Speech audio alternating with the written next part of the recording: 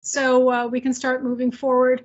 Um, Cami, again, thank you so much for taking the time. I know we've all been really excited to hear from you and learn from you um, all the wonderful, wise things you have to tell us. So, um, so I I don't know how you want to start this. Uh, you'll probably want to introduce yourself. I don't I don't know if the rest of us should should do introductions as well or how this should work. I'm just gonna pass it over to you and follow your lead. Perfect. Thank you. And I, and I will say I'm always a little worried when someone uses the word wise at the beginning of anything I do. So let's let's hold back our expectations just a little bit because a lot of this depends on all of you as well. And um, but let me start by I've got a presentation for you this evening. Let me pull this up. And I am assuming you can all see the screen. Great. I see some head nods. Yep, Great. yep. So just, I do want to start with some introductions. I wanted to let all of you know a little bit more about myself. My name is Cameron McEllhiney, um, and I am NACOLE's Director of Training and Education. And, and just, well, I normally use the acronym NACOLE because it's so much easier but that is the National Association for Civilian Oversight of Law Enforcement. Um, I came to this um, work in 1998. I actually served on a review board myself um, in the city of Indianapolis. Um, I did so for six years, and one of the things that I learned during that time was, well, several things, but one of the main things that leads me here today is that while very well intentioned, I knew very little about civilian oversight of law enforcement. Um, I knew that um, the premise of it, I'd read the ordinance. I had a very little understanding of what was going on in the rest of the country in regards to civilian oversight.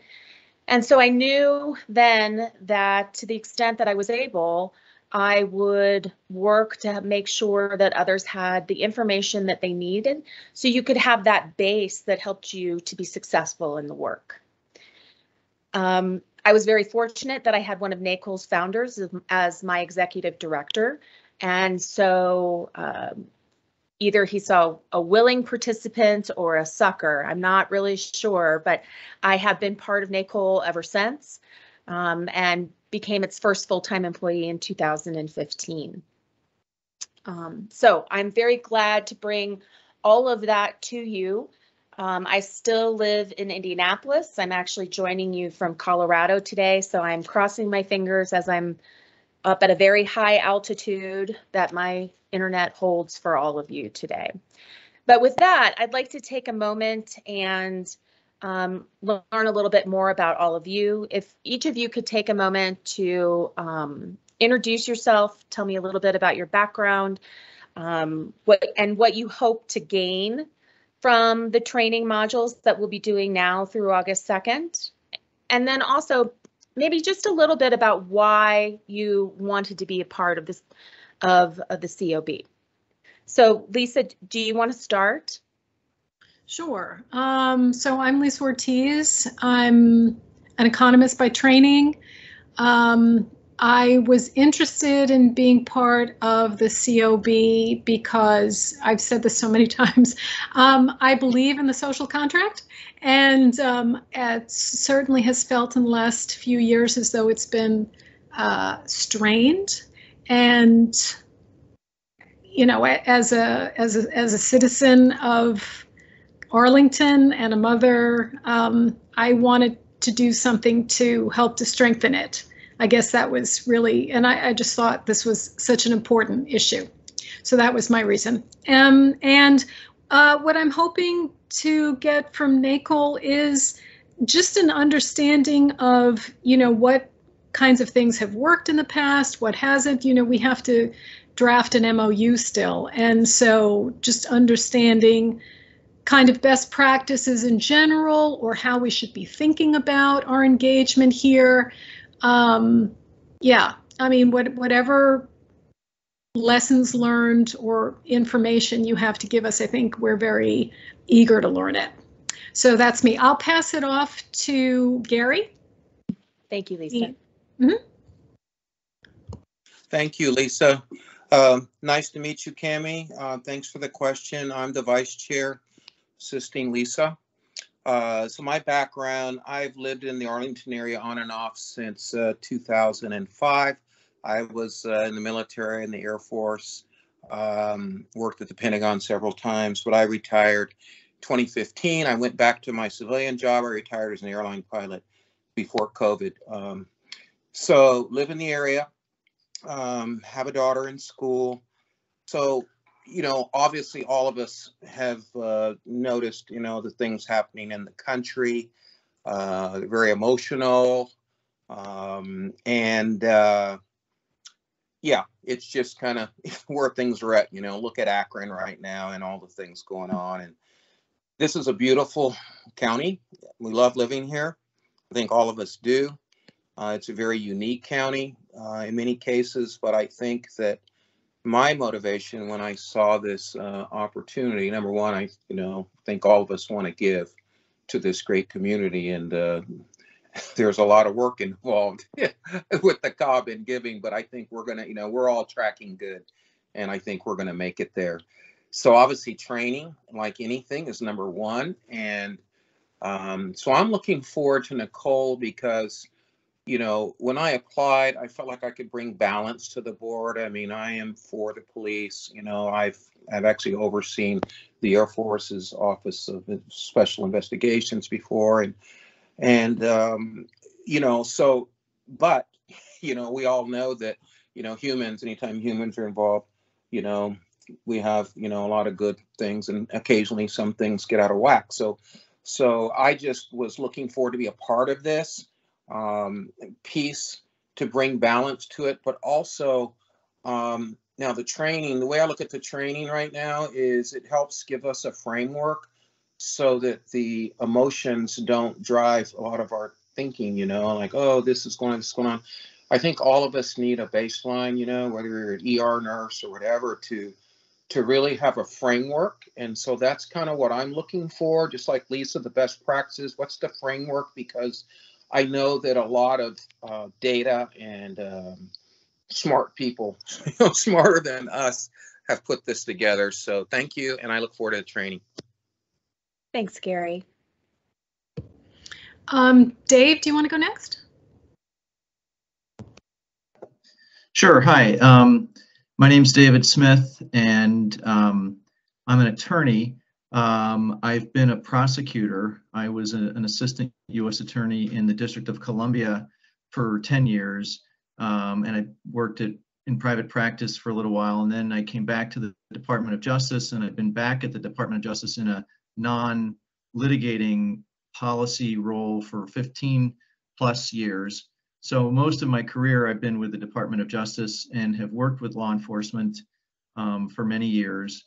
Um, and so I have an understanding of the investigatory process, um, and I have had occasions to be to work very closely with law enforcement and have trusted them, um, but have also seen instances where they were wrong, and um, you know, uh, as part of the sort of work that I've done more recently with the Department of Justice, I've become interested in sort of the systemic issues that uh, exist in society. And I've been a resident of Arlington since 90, actually since 95 or yeah, since 95. Um, and have um, had two kids grown up here and am interested in participating more deeply in, in the issues in the community because like Gary said, I'm really interested in supporting the community. I think Arlington is a great place. I think the Arlington Police Force is, a, is an excellent police force. Um, there's always going to be things that can be done better. One of the things I'm interested in is not only the individual um, um, complaints that we will uh, review in con connection with complaints of misconduct by the police, but also the larger policy questions as to ideas that we can suggest to the police to better address um, issues as we learn of them in the community. So um, um, that's why I'm interested in the, in the board and in terms of the training. You know, I don't have a great deal of experience in terms of civilian oversight. Um, I'm interested to learn what other jurisdictions do. Um, and as Lisa and Gary said, to get a framework for how to approach it. And so just uh, very excited to be part of this um, and uh, looking forward to the training. Thanks, David. Uh, so before I pass it off to somebody else, um, I thought of something else I wanted to mention, which is we have an, an unusually high number of data nerds on this uh, on this uh, COB, and uh, we're we're we're really thinking a lot about data and what sorts of data we could collect and what sorts of data are being collected and how people are looking at data. Since you since you asked what we'd be interested in, I know that a lot of us are interested in data and how data are collected and what's collected and where we can find it and how to use it. So I'll throw that one out there as well. Um, so I'll pass it off to uh, Martine.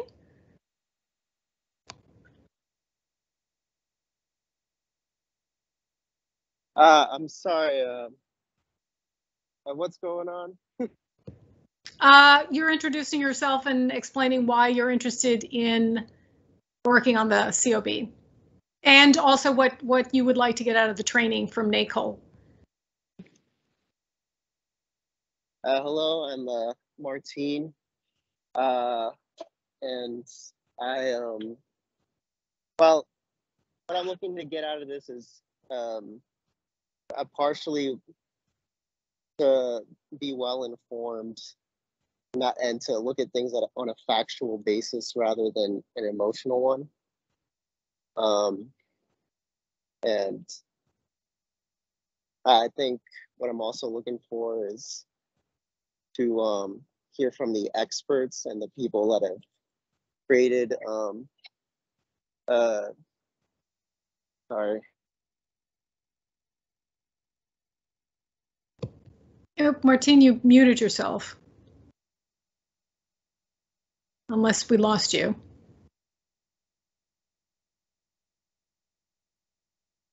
Okay, I think might have lost him. Um, we can come back to him. Uh, Julie, do you want to introduce yourself? Sure. Um, yeah, thanks for your time today. I work in transportation engineering by day, um, but I also mm-hmm. work with foster kids in the Arlington and Alexandria area as a court appointed special advocate.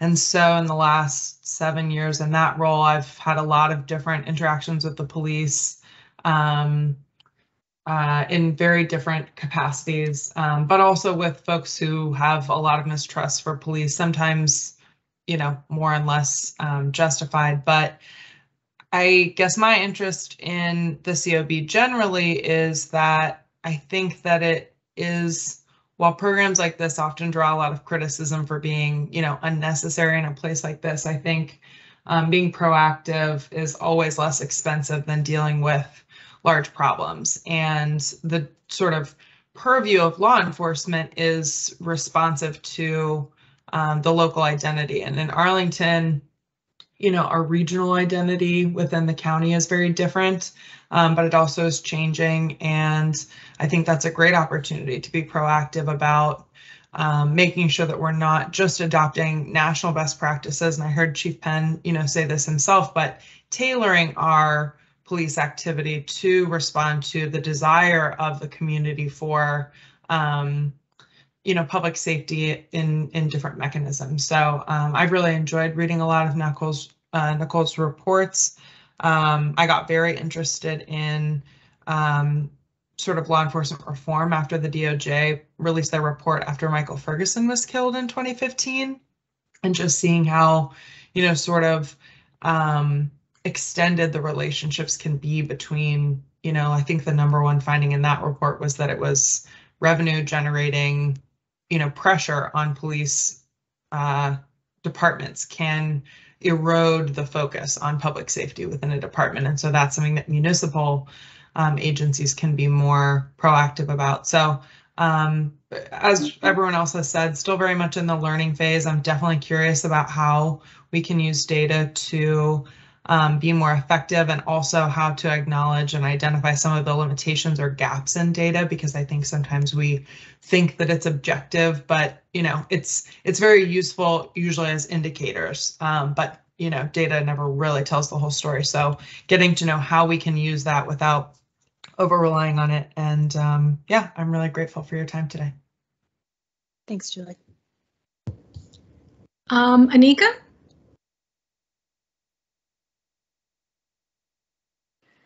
Yes, I'm here. I'm sorry. I'm just trying to get myself together. No worries. Okay. So we're just doing a basic introduction, right? Yeah, just um, sort of your background, your interest in the COB, and what you're hoping to get out of the NACOLE training. Thanks. Okay. Well, I am. I, I'm actually former military. So I was in the Air Force, and after that, I attended ASU and received my degree in uh, social work. I have my master's in social work. Right now, I'm doing the uh, micro uh, therapy. I do have an interest in going into macro and actually working with uh, elected officials and with policy and policy. Excuse me. Um, my interest in the COB, just the, current state that we're we're in, and just feeling uh, like that I don't have a voice, and and and and I, and I know I do. As, as a therapist, you definitely got to have a voice. So I know I have a voice. I know I have opinions. I know I have suggestions. I know I have. Um, I, I want to be part of putting a solution together and making sure that it's fair and balanced. Um, so when I saw that the county was, uh, you know, announced the COB, I thought, okay, why not? Let's see, let's take a chance. And pl- to my surprise, they said, yes, please join. We need that perspective because um, we all know there's a lot that comes with dealing with the public. If you serve in uh, public uh, services, you know that it's it's not for the uh, lighthearted it, it, it's a lot. It takes a lot for you to uh, work with the public and make sure you're doing a, a good job. And um, I'm sorry, uh, long day. So I'm sorry. I'm trying to remember everything that I had in my mind what I was going to get up here and say. So excuse me. Um, yeah, I'm new. No, I'm not new to Arlington. I've been here for about five years now, and this is one of you know the places out of the whole DMV area that I feel is like it's it's a a, a small city in a big you know, it has that small town feel, but it's in that big metropolitan area. And that's what really drew me here when I decided to come back to the uh, East Coast. So I want to make sure that I've contribute as much as I can uh, from the perspective of a social worker. Like this, this doing this, the COB, participating in the COB allows me to tap into my macro. Um, and that's what I really want to do. And I, you know, I enjoy doing it on a volunteer basis. So that's the main reason why, just making sure that everyone has a representation and everything is fair and balanced on both sides. Thank you for that, Anika. No problem. Thank you. Um, Sasha? Hey, good evening, Cameron. My name is Sasha, and thanks for doing this training. I'm a 20-year uh, policy wonk at the Department of State, the Department of Defense, and now the Department of Homeland Security, where I work primarily on immigration and asylum issues. But throughout my career, um, I've really been focused on human rights and promoting accountability in the military and police space and foreign countries, including Sudan, South Sudan, Mexico, um, and uh, helping to do training on human rights and like real, real basic, um, real basic fundamental stuff with um, countries with police forces and militaries that would benefit from some additional support. So um, that's my background. Um, why am I here on this board? I'm here on the board because I love Arlington. It's my community. I raised my family here. Um, I've seen bad policing, like where somebody hits a two-year-old on a median and then bribes the police $20 and nothing ever happens. So I've seen really bad policing. Um, and I've seen great policing, and I'm really um, committed to making sure that the Arlington County Police Department is a department that works for all Arlingtonians. And um, yeah, so I just, I'm just, I saw this as an opportunity to make sure that the police force was uh, an entity that worked for everybody, and I wanted to be a part of it. I'm thrilled to be a part of it. And um, what do I hope to get out of this training? Just honestly, uh, to get smarter on the topics, uh, to see best practices. I really believe in not reinventing the wheel where we don't have to. So I like listening to people who are smarter than me, which is, you know, mostly everybody in this space, and uh, learning from them to see um, what, what what we can adapt and, and what we can take on as our own. Thank you so much. Thank you, Sasha. So I think that's everyone, Lisa. Yeah, yeah. Uh, unfortunately, our two non-voting members are, I think they're both traveling, so they're not here. So, yep, that's us. Okay. Lisa, No. Gary, can I have one short, very short alibi? So Sure. I'm gonna re- back to the comment, I can remember who made it um, regarding, you know, getting involved. And so just a background, Cam, uh, Cameron, um, and we all are, we're on board, we're all taking our training, but most of our training has been receive mode um, with some interaction. The last training was good. So I know you've got this, you're going to do your style, but anywhere possible, we can start uh, hearing some of our other teammates. Um, I know the county picked an outstanding team, but uh, you know the format hasn't allowed us to collaborate very much. So I don't know. You're going to do this your way. Hey, we're all here. we're behind you. Looking forward to this. But any chances we can, um, where these sessions like this, we're not bounded by these other rules of getting together. We're here now, all of us, except for the two non-voting. But anyway, just wanted to share that quick, and uh, I don't want to belabor that, but uh, just wanted to. We are we are all kind of gelling, you know, trying to gel, and uh, anything we can do that will be very beneficial. Thank you.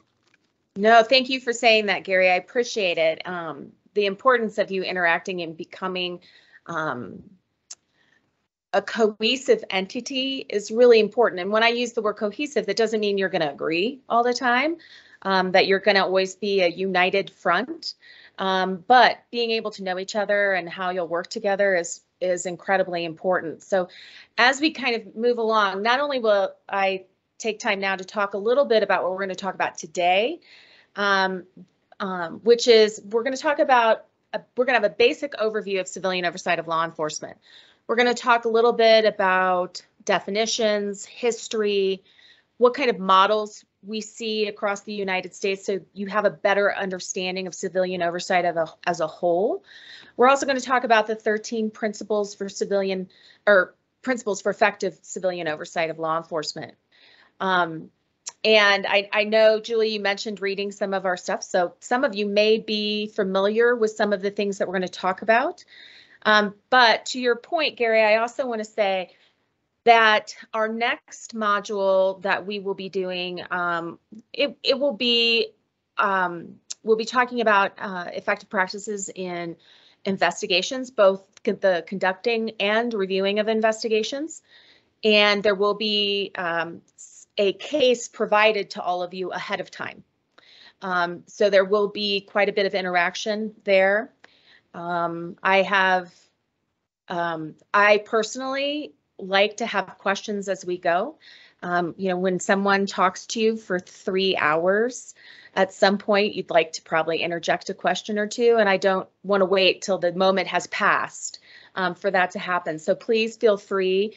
Um, I can't see all of you while I have my screen showing, so if there is a question, um, feel free to jump in.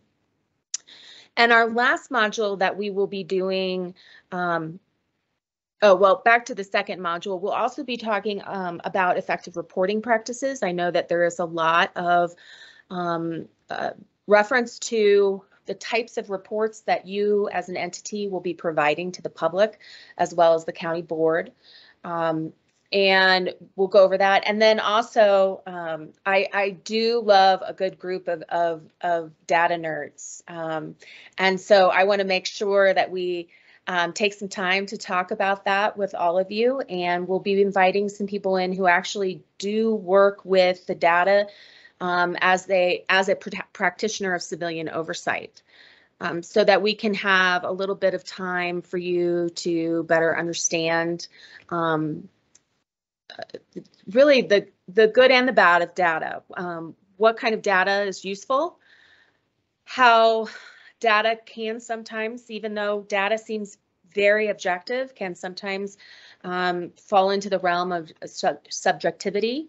Um, and so we'll talk a little bit more about that. And then our last module will um, is always one of my um, favorite uh, modules because we'll be talking not only about um, we'll give a lot of opportunity for all of you to speak on opportunities and challenges that are coming your way as you do this work.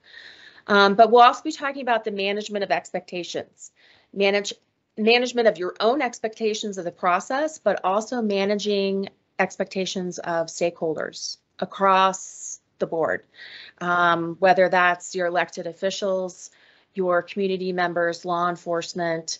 Um, everybody comes to this with certain expectations, um, but uh, managing them is really one of uh, becomes a main fo focus of a civilian oversight entity. Um, and so we'll talk about that too. And a lot of that will build upon the, the basics that we're starting with tonight. So with that, I'm going to jump right into the meat of what we actually are, are here for this evening. So let's start with civilian, the definition of civilian oversight of law enforcement. So there, civilian oversight is different things in different jurisdictions. But overall, it is an entity that investigates, audits, or reviews internal law enforcement investigations or processes. Um, that can include community complaints or looking at use of force incidents, but it also can be um, an, a mechanism that conducts ongoing monitoring or auditing of law enforcement agencies' policies, procedures, training, um, supervision and management practices. Um, and I will, I like to highlight the supervision and management practices because a lot of times um, people focus on policies and procedures. And I, I, think all of you can understand how important um, policies and procedures are, but how they are implemented and how the supervision of people who are following those policies and procedures, how important that really is. And one of the very important aspects of civilian oversight is that it's an agency or process that that involves active participation of all of the things I just mentioned by people who are not currently sworn law enforcement. And I stick that word currently in there. Every jurisdiction has a, a something surrounding how they do or do not involve law enforcement in the process. So, for instance, you have two um, former law enforcement who are non-voting. You, there are some um, agencies, Indianapolis is an example of it, where they have two sworn law enforcement who are part of their board who are non-voting. There are agencies who do investigations who have former law enforcement who do them. And then there are agencies out there who exclude all former law enforcement regardless of any part of their process. So it really runs the gambit. There are um, jurisdictions who have um, some involvement and some who have none. But one of the things to remember is that the active participation in the, in the process of civilian oversight does not include sworn law enforcement, current sworn law enforcement. So civilian oversight, and, and we'll get into this even more when we talk a little bit more about the history of civilian oversight. Civilian oversight traditionally um, had been a very reactive process. Normally, agencies are created after a high pro profile incident. Um, you, you respond to individual complaints. Um, sometimes only review policies because of the complaints that are coming in. It emphasizes legalistic rules, can sometimes be seen as adversarial, recommends sanctions, and relies on deterrence. Now, as I get to the next slide, when we talk about oversight evolving into a more proactive role, it's important to remember that there will always be a reactive piece of civilian oversight. There will always need to be that piece that reacts to specific allegations of misconduct or problems that are that they see with um, specific policies or training practices. But we have um, since the, the mid 90s have seen this movement towards more proactive elements within civilian oversight. I know one of you had talked about looking, talked about the systemic issues, um, not only in society, but I'm going to take that into law enforcement. There are some systemic issues, but the proactive elements of, of civilian oversight looks at problems through investigation, collection, analysis of data to see where the problems exist so that they can try to make recommendations for improvements in policies and procedures as well as training before incidents of misconduct occur. It looks at organizational change rather than dealing with the misconduct of one officer. Um, it looks at reduction and prevention of misconduct. And one of the things that I think long term really helps is it builds part it looks at building partnerships with law enforcement creating those bridges between law enforcement and the greater community one of the things that civilian oversight is really good at and is and is a really important element of its overall success is i honestly believe that there is not another element out there that is better positioned to build that bridge between law enforcement and the greater community. Um, it's community members, and I'll say this phrase quite often, it's community members who come into a process who are not necessarily working for the police or for community, but they're there to work for the process. Um, and so uh, as, as we talk about things like procedural justice, and legitimacy, that becomes a really important element of civilian oversight, is its ability to be there for the process and build the partnerships and create bridges that then end up really affecting the way that civilian or that civilians and law enforcement interact with one another. So a few facts about the field.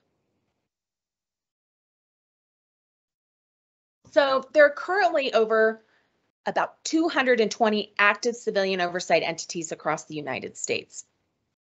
I think that um,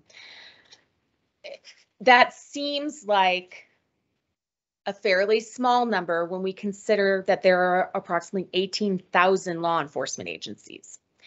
Um, but I want to, I'd like to put that number in context just a little so that we can kind of not make it seem like such a huge gap between oversight and number of law enforcement agencies. So there are about approximately 750 to 765 um, sworn members of law enforcement across the United States. Um, about 60% of those are police officers. Um, the other 40% fall into categories such as sheriffs, school resource officers.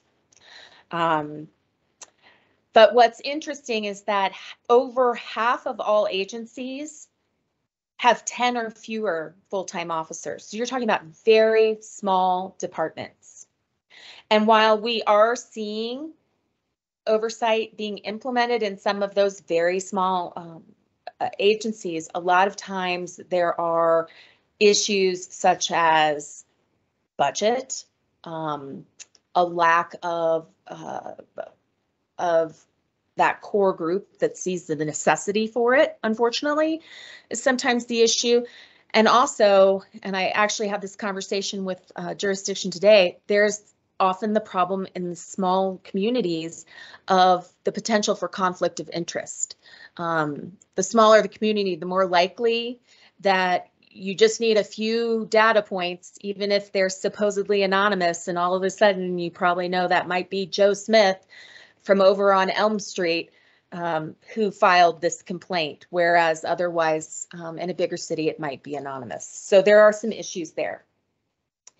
Um, it's also remember if we're talking about this contextually, about two thirds of sworn officers of that 760 plus thousand officers, two thirds of them work in agencies that have a hundred or more officers. And if we want to break that down even further, 7% of the largest state and local law enforcement agencies employ those two thirds of sworn, sworn law enforcement. So we have most of law enforcement working in 7% of, of law enforcement agencies.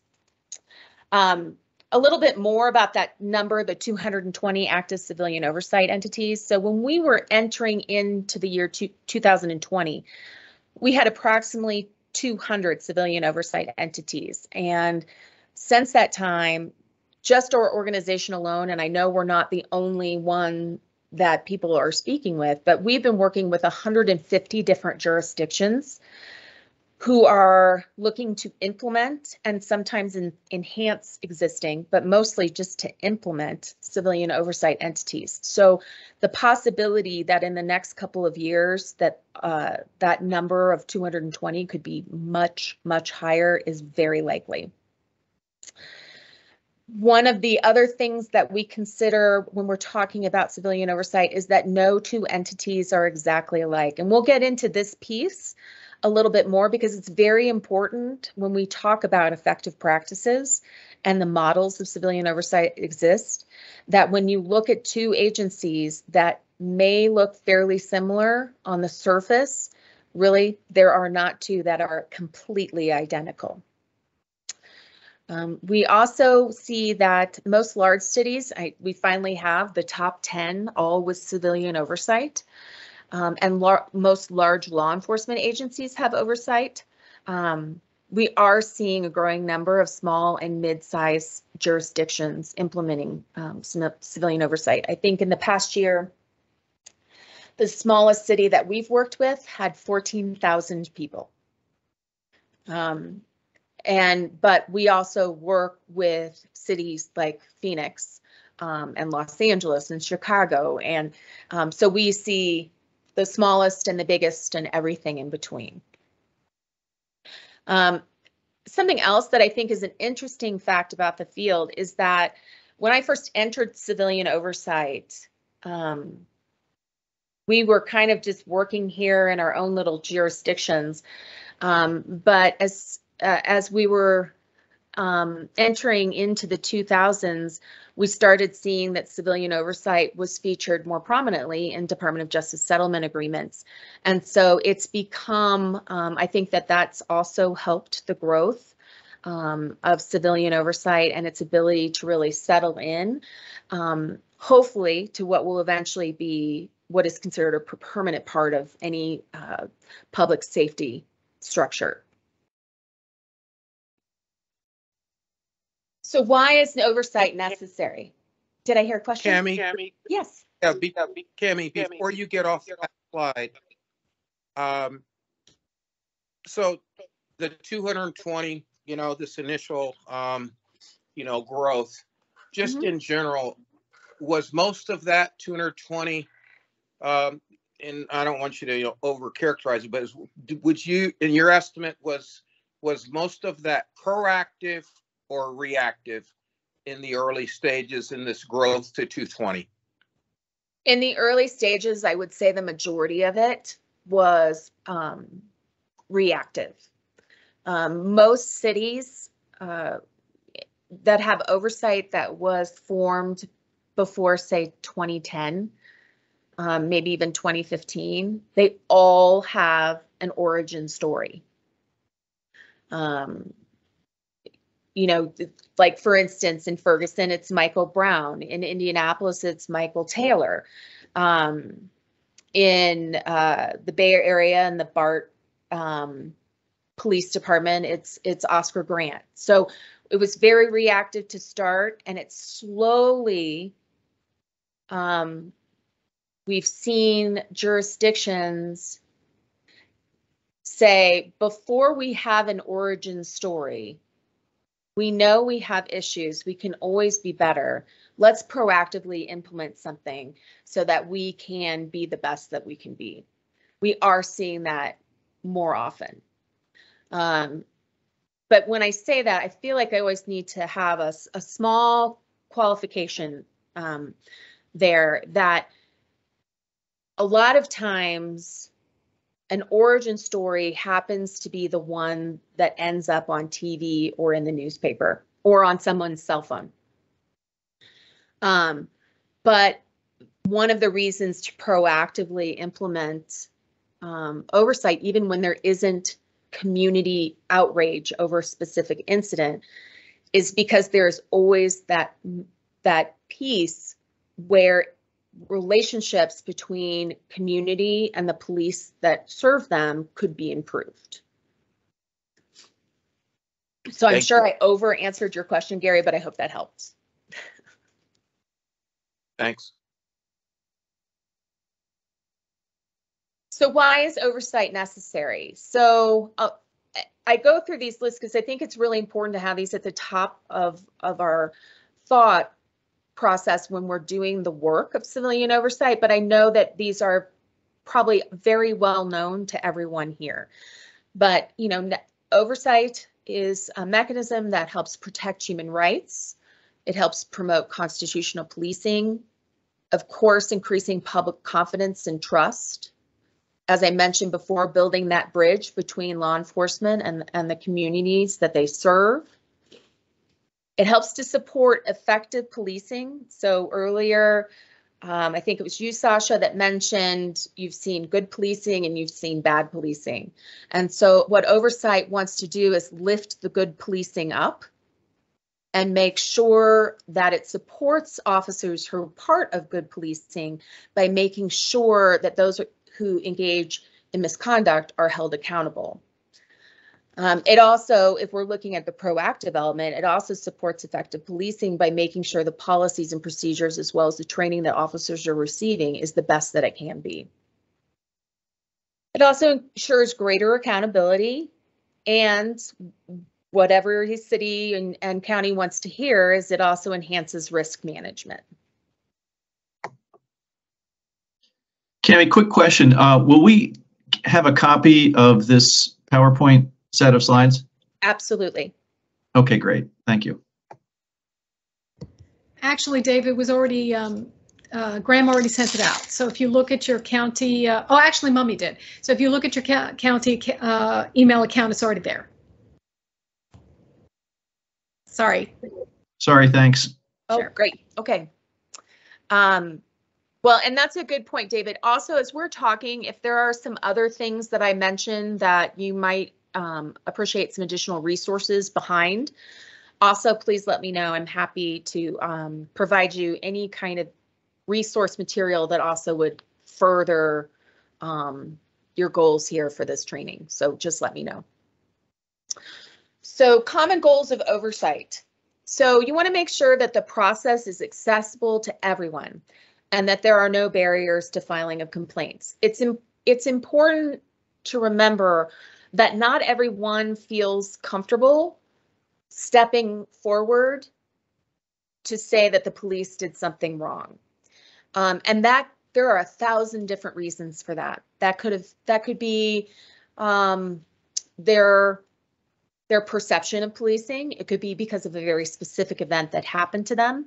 It could be because their community feels it that they don't want to come forward because then it exposes them to possible other issues. Um, so it's important to really think about how can you reach every member of your community, no matter what part, where they're living, their feelings about the process, how can you make it a comfortable and accessible process to all of them? You want to make sure that investigations are fair and thorough and that the, the findings are reasonable and discipline is appropriate. And I have to tell you, this is a common goal of oversight that not only benefits community, but this there are many pieces in here that also benefit the law enforcement agency. This bullet point is absolutely one of those. Um, and actually, so is the next one to improve public confidence in the police. If you have a, a community that has more confidence in the police, they're much more willing to work with them. um, which not only makes um, it easier um, to work cases and close cases, it also makes it um, a safer environment for them to be working in. An additional goal is to enhance the transparency of organizations by making sure that um, information is available publicly um, and that officers who can are found or to have con, um, engaged in misconduct are held accountable. Um, that again, also a benefit for law enforcement as well. Some additional Um, goals. Of, Can I make a quick comment? Sorry, Yeah. I don't, I don't, go ahead, don't mean, don't mean to keep interrupting you, but I mean, I can just confirm that um, there is some inherent reluctance to make complaints for some folks, um, and actually myself included. I mean, I think I've mentioned this to some folks, but some years ago, a member of my family was arrested, um, and the, the the the situation worked out probably as it should have. But as part of the process, I am 100% sure that the officer lied under oath about something. And I was really angry. I mean, I've worked with law enforcement for my whole career and, and I didn't file a complaint.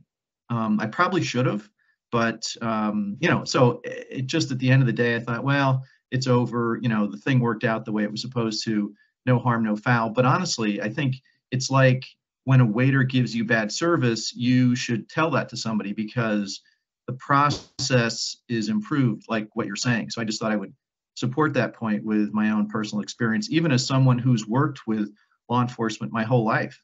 Um, and and when this this thing happened, I was like, that's outrageous. I I, I was so angry, but I actually didn't do anything about it. So just uh, just an, an additional point to make.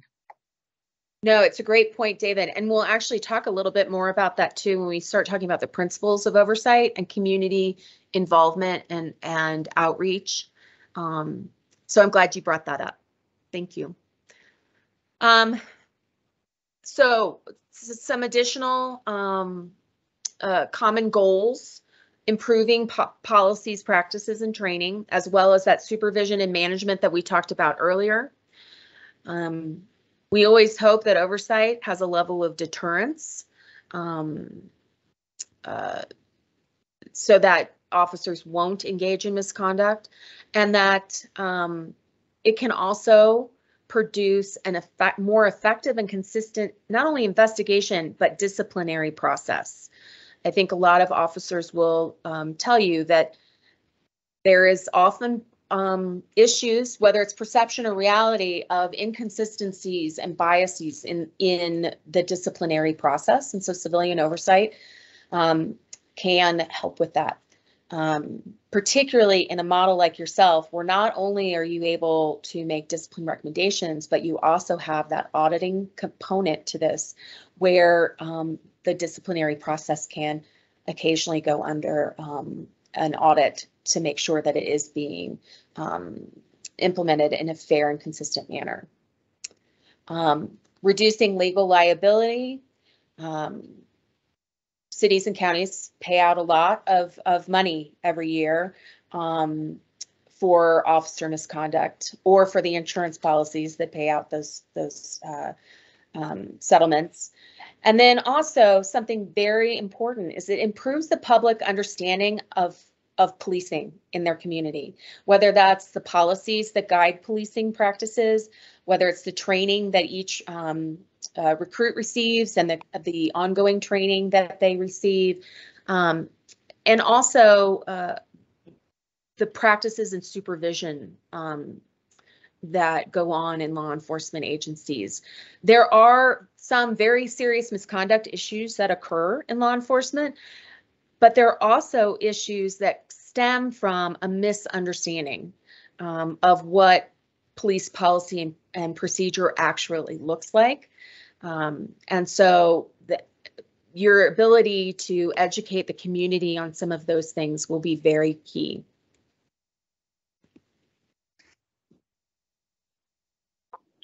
Okay, so next we're going to go into the history of civilian oversight. I just want to, before you go on to the next phase, I just want to comment on that. Uh, The, um, and I'm looking forward to our engagement with, uh, more with Chief, uh, Penn in this area.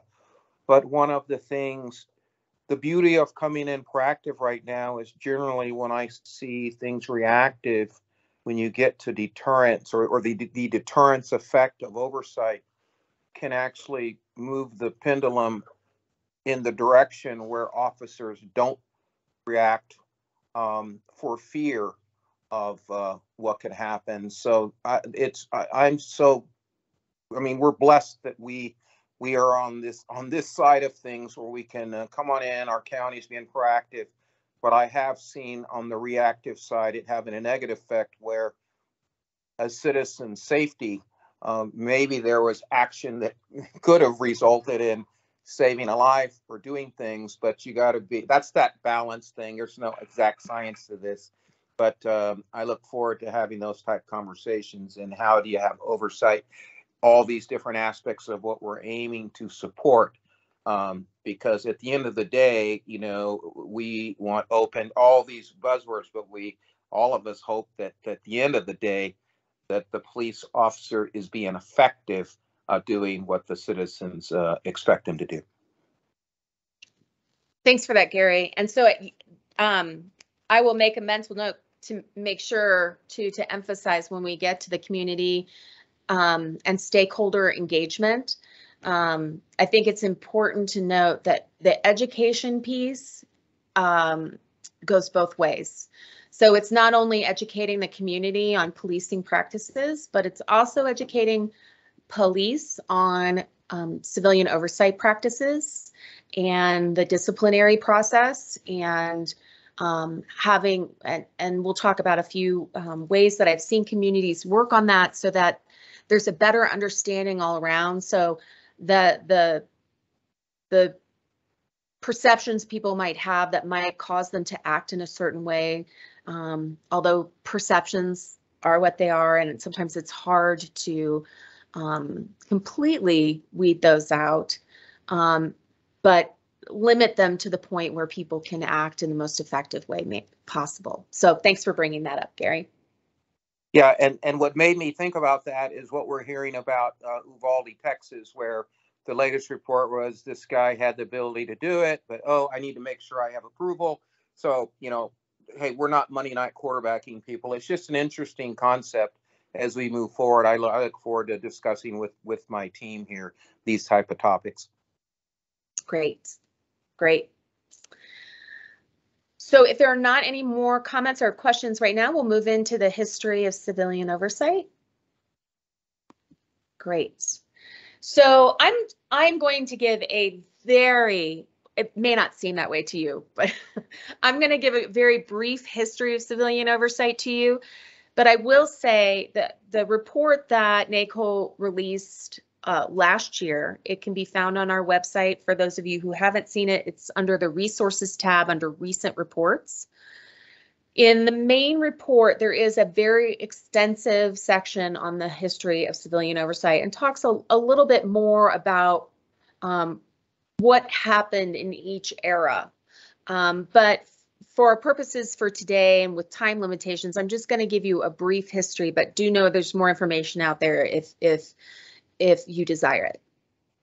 Um, so first of all, there have there were probably plenty of attempts at civilian oversight, but the real first um, uh, experiment in oversight that we have on record um, to any great extent is from 1928 when the Committee on Constitutional Rights was formed in Los Angeles by the Los Angeles Bar Association. Um, now, the uh, Bar Association just took it upon themselves to form this committee. It had no authority, it had no enabling legislation. So, as you can imagine, it was not particularly effective. They had little to no access to any information. Um, but there at least was the thought about reviewing misconduct investigations and following through to see if investigations were occurring. The next um, thing I want to point out is just a few years later, um, we have the Wickersham Commission, who recommended, um, even though their their original work was to look into the effects of prohibition, um, what they really ended up doing was bringing to light a lot of corruption um, and unacceptable tactics by law enforcement. And as a result, they recommended that a disinterested agency needed to be put in place to combat lawlessness in law enforcement. So that was really the first time we see an official body recommend something, although not quite in name, um, but something in uh, like civilian oversight of law enforcement. However, even though that happened in 1931, we do not see the first um, official civilian oversight board formed until 1948, and that was actually in Washington, D.C. Um, really, I have to be honest, the only reason that this is a, an important um, point is because it was the first. Um, they were deemed incredibly ineffective. Uh, in I between the years of 1948 and 1964, they only reviewed 54 cases. And I, I, although I never base effectiveness on the number of cases reviewed or the number of sustained cases, one has to imagine that um, there probably were more points where complaints should have been filed or could have been filed or more investigations done. That's just not very many investigations for a city like the District of Columbia in that stretch of time. In 1953, um, we see, and as you can see, things are happening fairly slowly here. So the New York City Civilian Complaint Review Board was formed. So this is just the first iteration of the Civilian Complaint Review Board, which I'll refer to as the CCRB. This first iteration only had three commissioners and it operated completely internally to the department.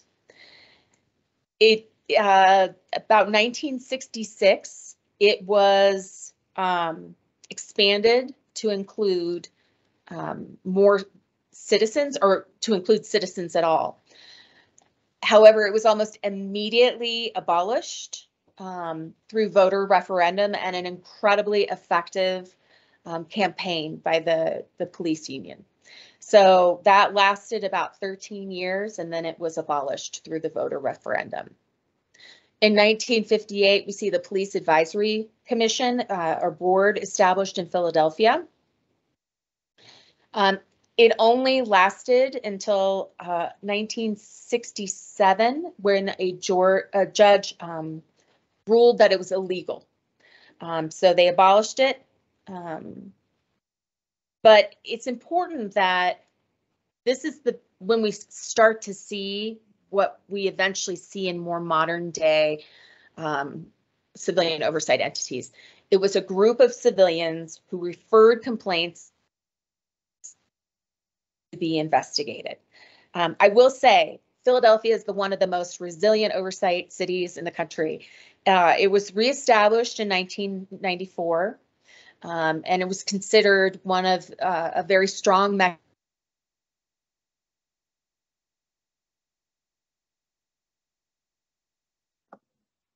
Cami, you're you're you're breaking up. I I can't hear anything anymore. I don't know if others can. No, I can't either. Um, she might have to reconnect. Um, Can you hear me? Ah, Now, now we can. Yep. Okay. Can you still see my screen? Yep. Okay, great. We missed Okay, about so, a minute. We missed the last minute. okay, so I was talking about Philadelphia and it's one of the most resilient oversight agencies I think that we have. Um, after abolishment, they were uh, reinstituted in 1994. And I will say in the last five to six years, I they have reinvented themselves I, at least two times. Um, so I think it's important to note that civilian oversight once established, there's also that need to reassess authorities and look at how it can be improved, just like you're looking at law enforcement and how it can be improved. Let's see if I can. Okay, so so next I want to move on to um, the next phase of the history of civilian oversight. So in 1969, the Kansas City, Missouri Office of Citizen Complaints was established. This is really only important because this is the longest continually running um, civilian oversight entity in the country. Um, they, once they were established, um, they have occasionally worked on authorities, but for the most part, they've stayed consistent to their mandate since 1969.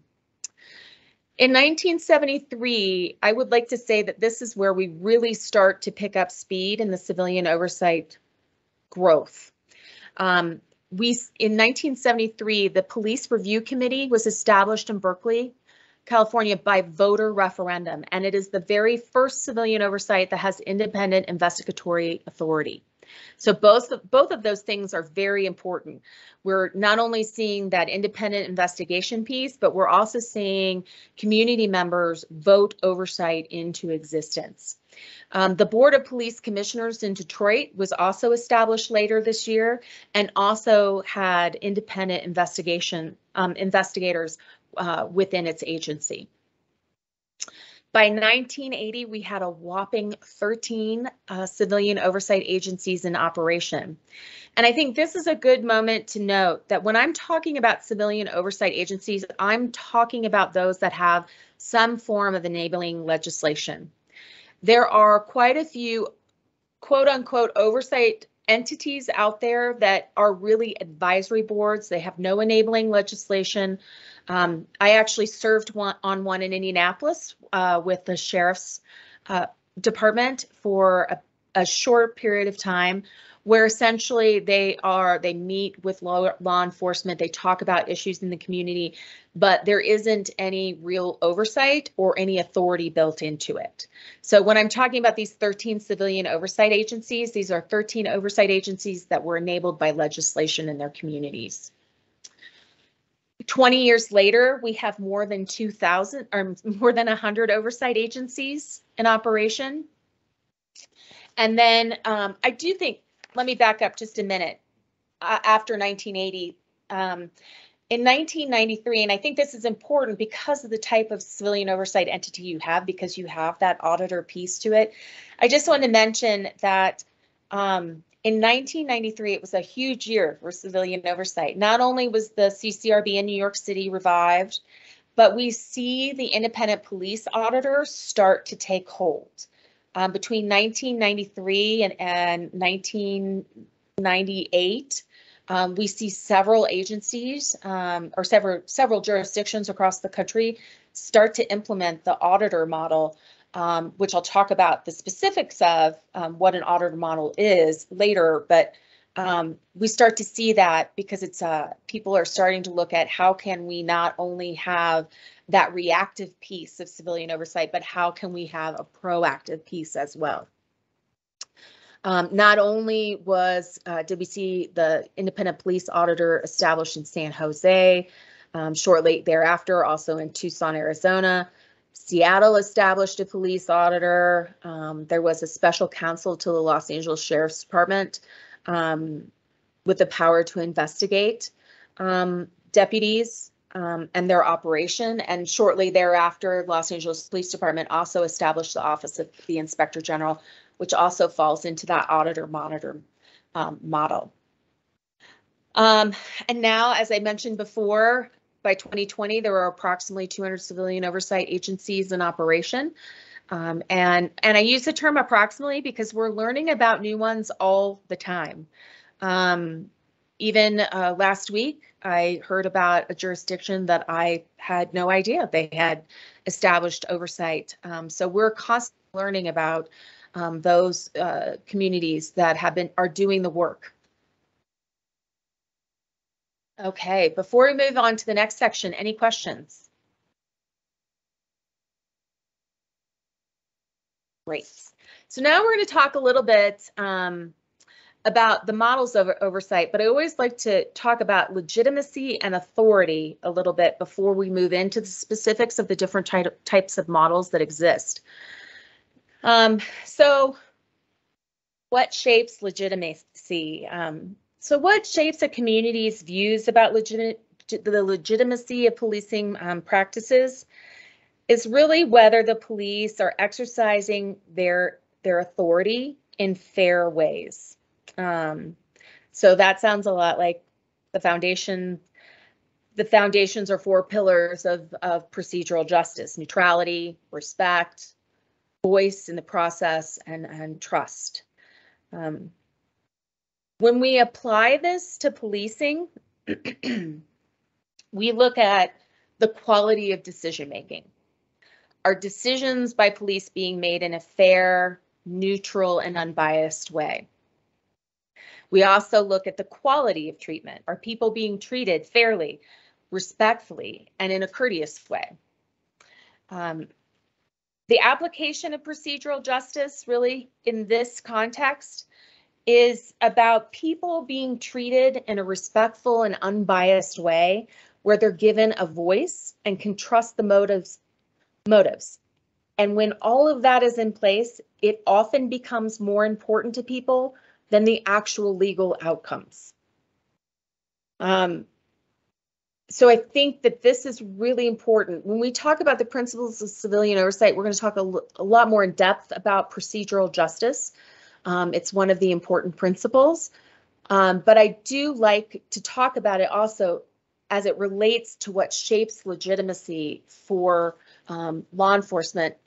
And eventually we'll talk also how it shapes the legitimacy of civilian oversight. So I also want to talk a little bit about the types of authority.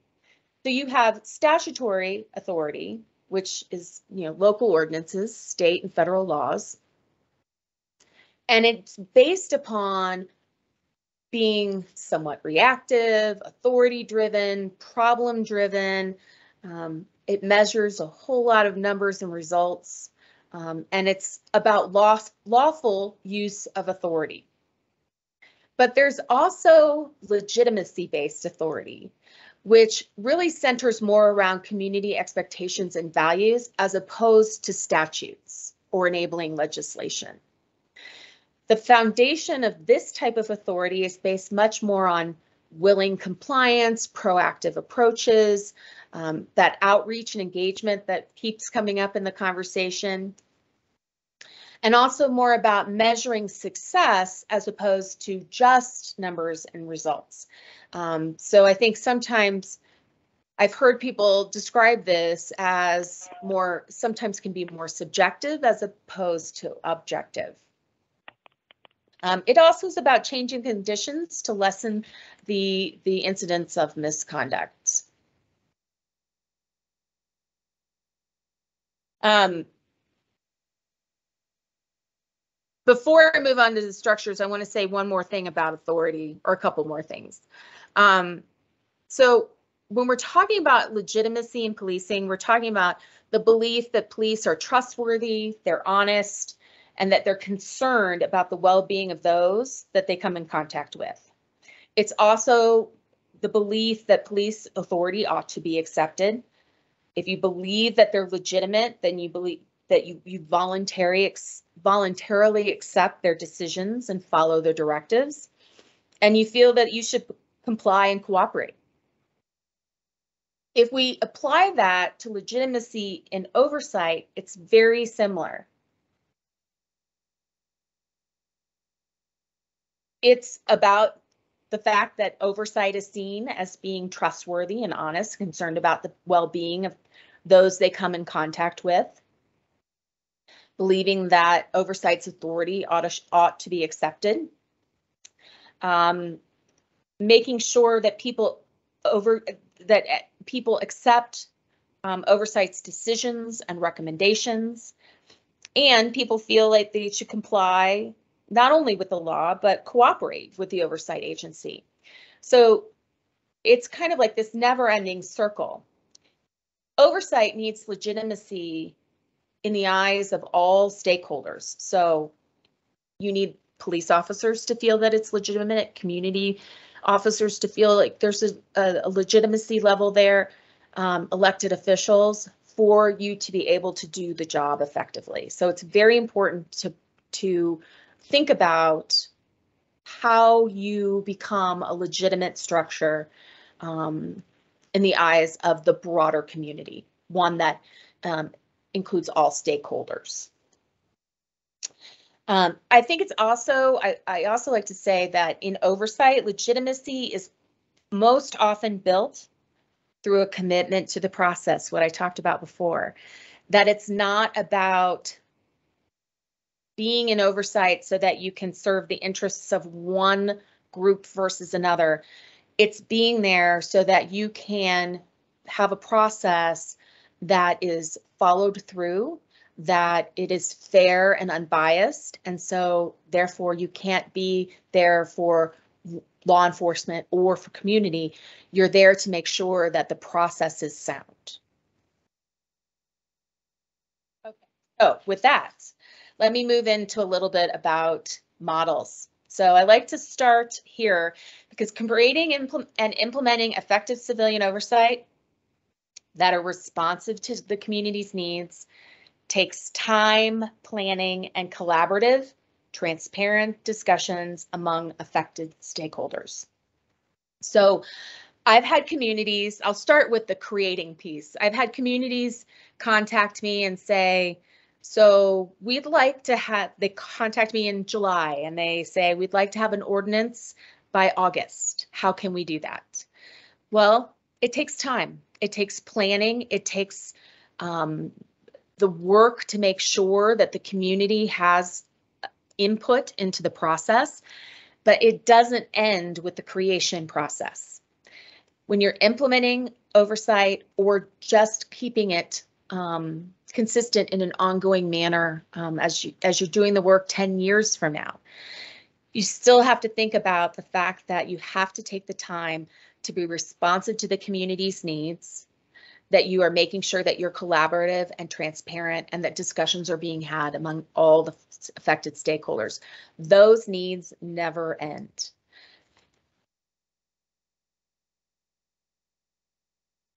So in oversight, we have four major models. The review focused, the monitoring or auditing auditing focused model, the investigation focused, and, and then the other, the catch-all, the hybrid models. I often get asked, is one of these models better than the other? And I have to tell you, each one of these has a, their strengths and weaknesses, absolutely. However, what when I'm asked that question, I often um, counter with when you're putting together a civilian oversight entity, it's really important to carefully consider the history and narrative of the community, the level of financial and political support, and the level of desired authority and independence that you want a civilian oversight entity to have, as well as expected outcomes. So it's really important, not only in the creation process, to think about what do you want this oversight mechanism to do, but it is really important to constantly think about what the expectations are along the way and make sure those are communicated clearly to all affected stakeholders. So with that, I'm going to move in and talk about some specifics of each of these four um, models. First, we have the review focus model. So they have the great benefit of community being able to provide input into the investigation process. When it is solely a review focused model, it often only has the ability to review the investigations completed by internally by the law enforcement agency. By being able to review investigations, however, you do have the ability to potentially increase public trust in the overall process. And then also an individual or a board um, that's authorized to review the completed internal investigations has this important ability to be able to agree or disagree with the findings and make that public so that the community knows that there's actual deliberation happening, um, that they know that it is not a rubber stamp um, mechanism, um, that actually careful consideration is going into all aspects of it. So if we're talking about the review focused model, um, talk a little bit more about the, their range of authority. So they often receive complaints and forward them to the law enforcement agency for investigation, as I mentioned. There's often professional staff, a director, executive director. Sometimes it can be a member of um, a city administrator, city manager's um, office who staffs the board. Um, they review completed investigation and also have the ability to provide feedback. Very often also they have the, the ability to remand cases back to the internal affairs unit for further investigation. Um, in most cases, they have the ability to recommend disposition and that can also be whether they agree or disagree with the disposition that internal affairs came to when they did their investigation. Um, they can recommend discipline. I will say that a there are not that many solely review focused models that are able to um, recommend discipline. That's a fairly new phenomenon for them. Um, so we are starting to see it, just hasn't happened that much in the past. Um, and we are uh, starting to see more and more of them able to make recommendations um, or review potential revisions to department policies and procedures. Very often there is a hearing component to um, the review focused model so that they can hear complaint or appeals um, either from the complainant or from the subject officer. They hold public forums. This is they're very much um, because they're so focused around the community element of civilian oversight. Uh, often a large portion of what they do is community outreach and involvement. Um, and then they also, and this is the case with every oversight entity really, is that any meetings that are held are done so in accordance with state laws um, and union contracts so that all um, so that they are not, um, so they're meeting all public requirements. So with that, let's move on to the investigation focused model. So if you'll notice here on the left, this is, I have pictures of the New York City Civilian Complaint Review Board. Um, so I always like to make um, the case here for something that's not necessarily related to this slide, but a very important thing to remember is that when you're looking at different cities that have civilian oversight, um, I hear often when I'm talking about this, the CCRB in New York, oh, well, we're not the CCRB. Like that's too big. We don't we don't need anything that they do. Well, no one is the CCRB. It's the largest uh, civilian oversight entity in the country, overseeing the largest police department in the country. Um, however, there are things that they do that are transferable. They can be um, looked at and made to work in your jurisdiction. So I never want people to negate the possibility of some doing something that a larger agency does. And I also would say to the CCRB, don't disregard something that's being done in a city that's much smaller than yours, because effective practices can be found everywhere. They just remember they they can be scalable. So with that, um, back to the investigation focused model. So often this is seen as an excellent way to reduce bias in investigations um, and definitely reducing the perception of bias in investigations into uh, civilian complaints.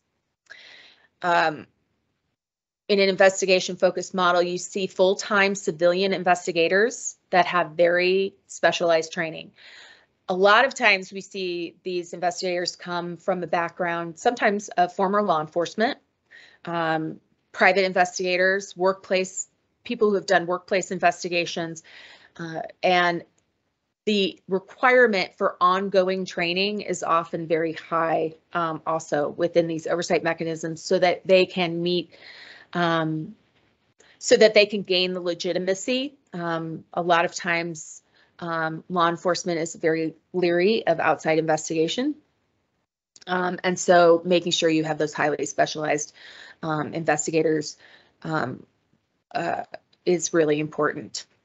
Um, investigation conducted um, by an agency doesn't rely, rely on the department as much. However, it does rely on cooperation from the department to make sure that they have um, the ability to access witnesses and evidence and documents. And as I mentioned before, civilian-led investigations often increase the community's trust in the investigation process. So a little bit about the range of authority of this model. As I mentioned before, they employ professionally trained staff.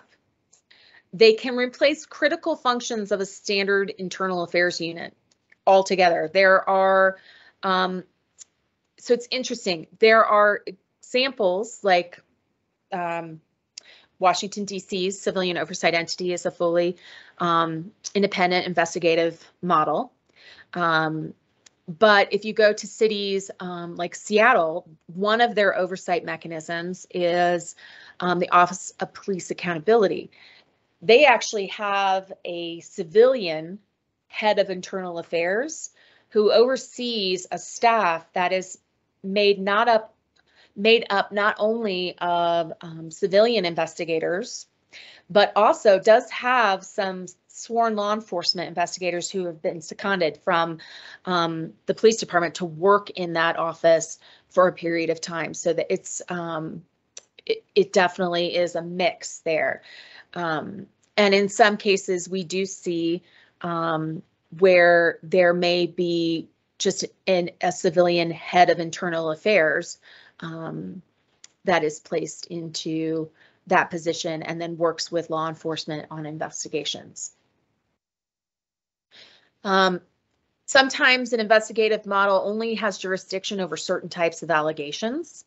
Um, actually, uh, everywhere except in an oversight entity that's getting ready to, to uh, be implemented in Washington state, really oversight deals with civilian oversight of law enforcement as we know it now deals mainly with administrative investigation, not criminal investigation. Um, but they do have the ability to conduct interviews of witnesses, um, both police and civilians, the ability to gather evidence. Um, they prepare investigative reports just as an internal affairs or um, a professional standards unit would do. Um, and then they rec make recommendations or findings of, as to whether the evidence supports the allegations. Um, and in some cases, um, those oversight entities can also recommend and or impose discipline, although those that can impose discipline are, are fairly few. Um, but we also, but we do see more often in this model the ability to recommend discipline. Next, we have the auditor monitor focus model. So this model really emerged as a compromise. Um, often when uh, civilian oversight is being implemented in uh, jurisdictions, there tends to be a clash between law enforcement agencies or unions and community activists. And so this was, um, in its initial um, implementation, a model that could work on rooting out um, misconduct, but also could be proactive in a way that helped civilian or helped law enforcement agencies improve in their work. Um, they have much more ro robust reporting practices than any other civilian oversight mechanism. They promote long-term systemic change. They will. They tend to be, and and I know this matters um, to city governments often. They tend to be less expensive than an investigative agency, um, but more expensive than a review focused model. Um, and one of the things that I, I particularly like about this model is its ability to engage in all um, well, many, if not all, of the steps of the complaint process, from taking in the intake um, portion. Um, some auditors, um, very much like yours, are able to engage themselves in every, if if so they so choose, in every step of the of the process. Range of authority includes um, auditing, monitoring, investigating, reviewing, um, a very wide range of policies, practices, and procedures. Um, they ensure individual complaint investigations comply with, with the established policies and procedures. Um, they can do complaint intake, like I talked about, monitoring the disciplinary process, um, involving themselves in ongoing investigations. Um, and in many cases, they can make recommendations regarding any aspect of the law enforcement agency. And the auditor monitor, I will say, also does have a very important community engagement um, uh, component, which goes along uh, quite closely with the reporting. There's just a high level of transparency in this model. And I will say, just to give you an example of the benefit of this type of model. And they all have benefits, as I mentioned before, but I like to share the story about the Tucson police auditor some time ago was doing an audit and they realized after reviewing several cases that there seemed to be a tremendous amount of officers who had been reprimanded for the use of a chokehold, which is banned um, by policy in Tucson and has been for a long time. As she was reviewing this, she also num- noticed that their badge numbers were in close suc- succession.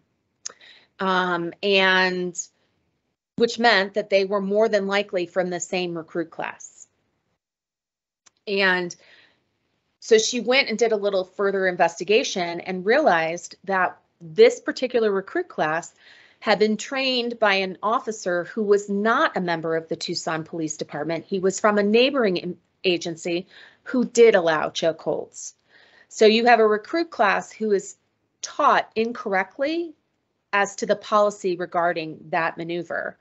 Um, and so now you're seeing complaints and discipline impo- imposed because of it. So once she realized the problem, she was able to go um, to the chief and recommend that there that this recruit class be retrained and trained correctly um, as to the policies and procedures regarding chokeholds.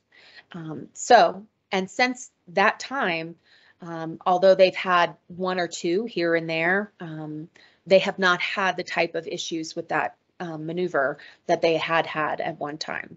So that's just an example of how the, the effect that this kind of work can have on the long-term um, procedures of a police department.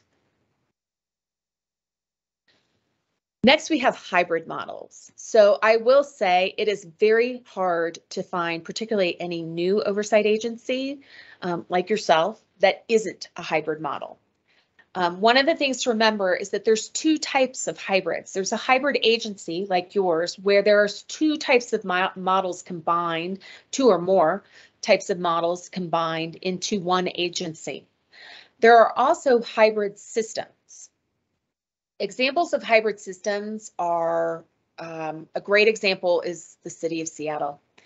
Um, so they have, they have the Office of Police Authority, or I mean, Office of OPA, Office of Police Accountability, um, sorry, uh, who does investigations, their investigative model. But then separately from the OPA, they also have the Community Police Commission, which really focuses and acts more as a review um, model. Um, they also have a huge community outreach component to them. Um, and then you also have um, the Office of the Inspector General, which is a completely separate entity who not only does audits um, of law enforcement, but also of the OPA and some of the work of the commission, community commission. So that's a system where there are completely separate oversight mechanisms that operate independently of each other, but do have some overlap in the work that they do, and they're all within the same city. So a hybrid model, as I mentioned, has one or more, uh, well, two or more elements of the other models. Um, they often come about because they're being developed to meet very specific needs of the community and also work to conform um, with state or local laws. There are um, state statutes that do pose issues for what we might consider effective law enforcement. If we could get everything we wanted, that would be fantastic, but there's often some existing statute that prevents everything that we'd like to have in an oversight mechanism from actually being um, included. Um, so what tends to happen is that oversight kind of molds to it, the the specific um, um, state or local laws so that it can still um, be effective and also take those um, laws into consideration. Um, hybrid models are often a modification of a previous oversight agency. Uh, Seattle is an excellent example of that. The Office of the Inspector General uh, uh, actually used to be just the Office of the Police Auditor. Um, and the Community Police Commission at one point didn't exist at all in the process, and that is a a fairly uh, or a newer aspect of that that um, agency. So common oversight functions when we're talking about the hybrid models. They often review completed internal affairs investigations, unless we're talking about the oversight system like we see in Seattle or in New York or in Chicago, where they have an independent investigatory authority within the system that does do those investigations. Um, but being able to review completed internal affairs investigations is one of the most common oversight functions across um, all of the hybrid models. Um, and I already talked about our second bullet point, but then pro- also professional staff are also a very important um, part of this. Um, those who receive input and feedback from the boards or commissions that they're working with.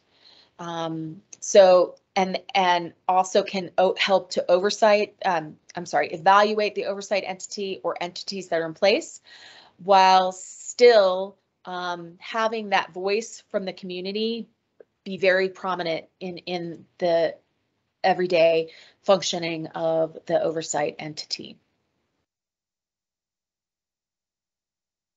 Okay, so we are um, at about just over the halfway mark here. And so I wanted to check in with you and see, um, I have a 10 minute, a 15 minute break planned. Um, but I want to make sure that's what people need right now, or if people feel they just want to keep on going. Um, I want to check in with all of you for a moment. Um, I Um, think I we think we probably probably want to take a take a break, Okay. but it may not need to be 15 minutes. I don't know. Um, I'll, let's put it this way. I'll entertain a motion for a 10 minute break. That way we won't be too far off time if that's good enough uh, for everybody. Somebody. I'll move for that. I'll move for a 10 minute break. Terrific. I need a second. Gary, I second. Uh, all in favor, just say aye.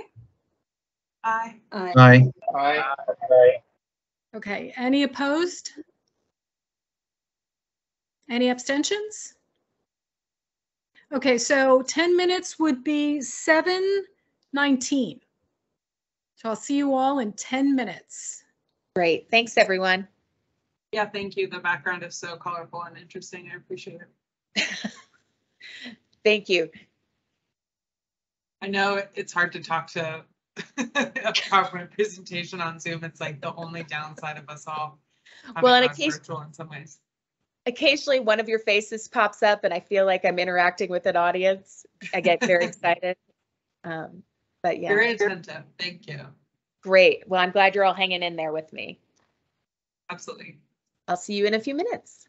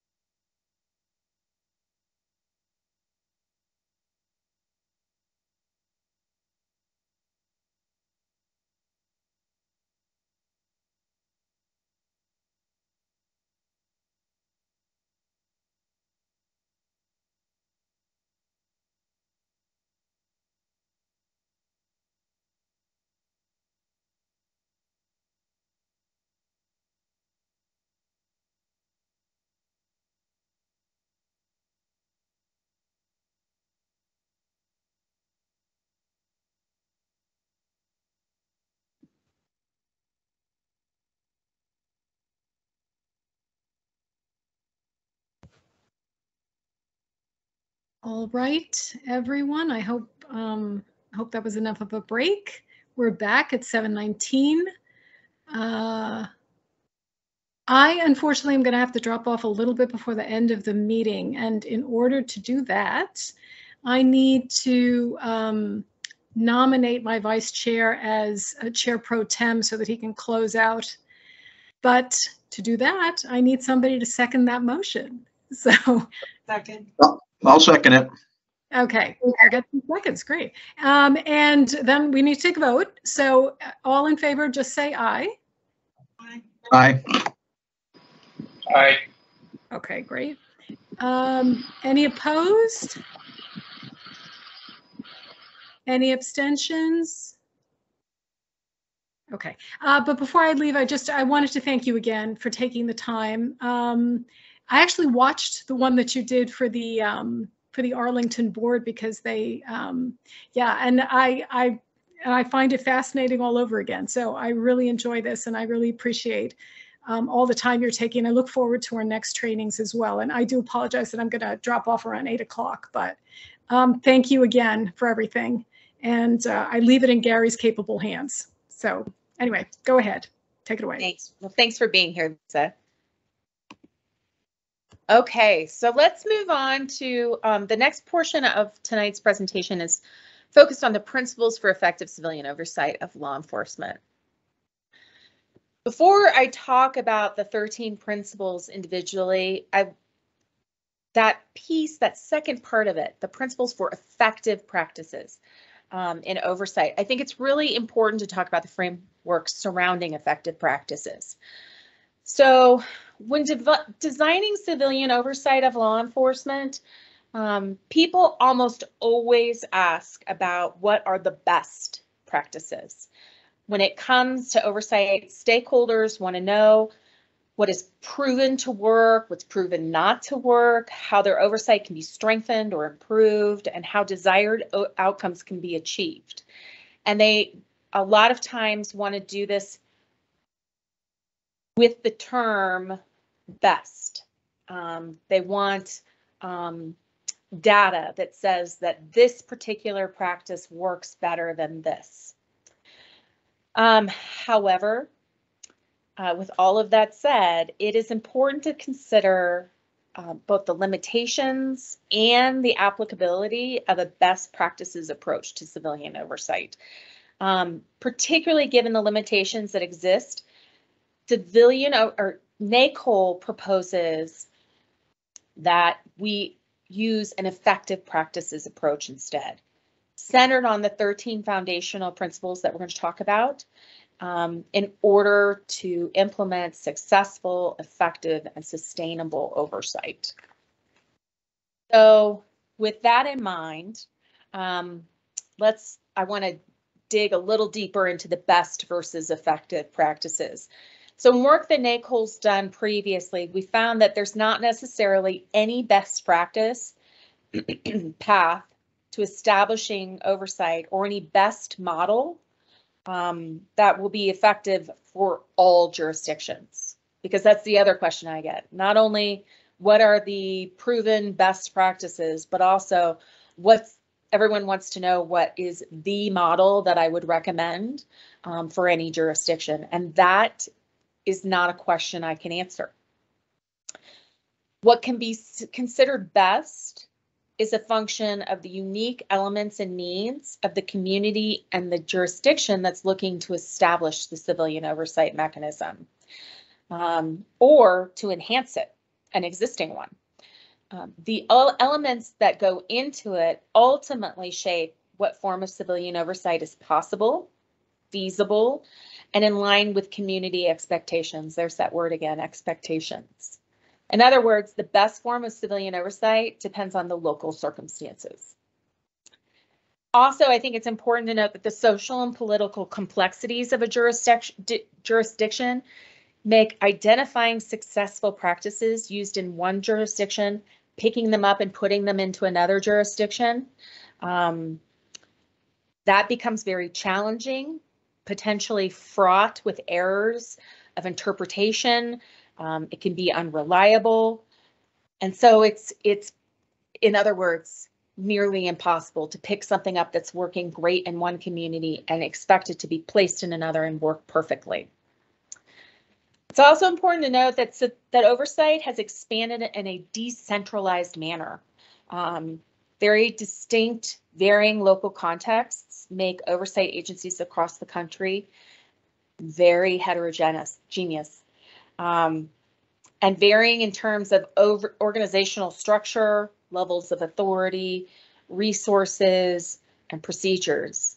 Um, a lot of times this happens from what I was talking about before we took our break. Sometimes this can happen just because you might have an excellent um, oversight mechanism that is working incredibly well for a community in Virginia that it would be nearly impossible to replicate because of existing state statutes in California.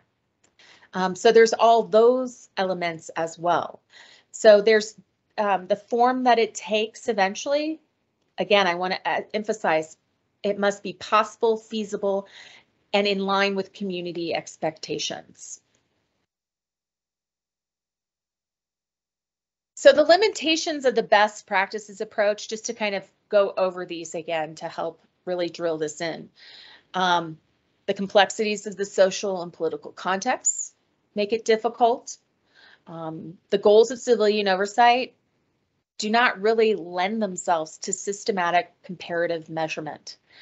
In addition, there is no across the board standard for what data is being collected from over one oversight entity to another. Now, believe me, we are working on that because we see the, the necessity of it. But because of that decentralized um, development um, and that no two are alike, they tend to operate and collect the data that's most helpful um, and needed in their jurisdiction. Um, also, there's a lack of standardized definitions um, and and that, along with the, the data uh, collection issue I just mentioned, makes cross-jurisdictional comparison very difficult. And of course, the no two civilian oversight agencies are the same is also problematic to this, to a best practices approach. So instead, we move to the effective practices framework. Um, it's important to recalibrate existing stakeholder, practitioner, and community expectations regarding best practices so that we can move to the effective practices framework. It is very important to remember that in civilian oversight, there were always several paths to success. What's most important is that the mechanisms are developed to allow for flexibility but still take into consideration the criteria that's thought to be crucial to successful, sustainable, and effective civilian oversight. To do this, core values and principles, which we'll be talking about, um, need to be taken into consideration, and the experience and wisdom that comes from the work already being done needs to be valued. And in essence, listen to the lessons learned. Um, one of the wonderful things about the civilian oversight community is no one wants anyone in oversight to have to reinvent the wheel. People are much uh, more willing to um, discuss uh, failures and successes than I see um, in other industries that I've worked in or other communities that I've worked in. Um, so really being able to take into consideration the work that and experience of others is also really important in this framework. I think it's also important to, to mention this piece about um, valuing diverse perspectives also extends beyond experienced practitioners, but also into all of the stakeholders, making sure that stakeholder input and dialogue is prioritized in your process. You don't want to be working in, an, in a vacuum because you'll never reach that effective, sustainable level if you are. So recommendations for effective practices. So it's about finding um, looking at different authorities and practices and seeing if it's an appropriate fit for your local context. Um, not all recommended practices will be appropriate for every jurisdiction or every model. I should mention that as well. Um, recommendations must be discussed with local stakeholders and feedback gathered. Um, you need to look at how will this practice strengthen civilian oversight in relation to the 13 principles, but also evaluate strength and, and weaknesses in relation to the 13 principles. For instance, does adopting a particular recommendation achieve intended outcomes or um, looking at it as if one recommendation that strengthens a prin principle may not address or may inadvertently affect a specific weakness. Um, so an example of that would be implementing a practice or authority that requires a large budget in a community where there is not a large budget to be had, that that budget um, and resource does not necessarily exist for the type of authority that you're asking for. It doesn't mean it shouldn't, but the, the local will, political will may mean that it either does not or will not exist for you at that moment.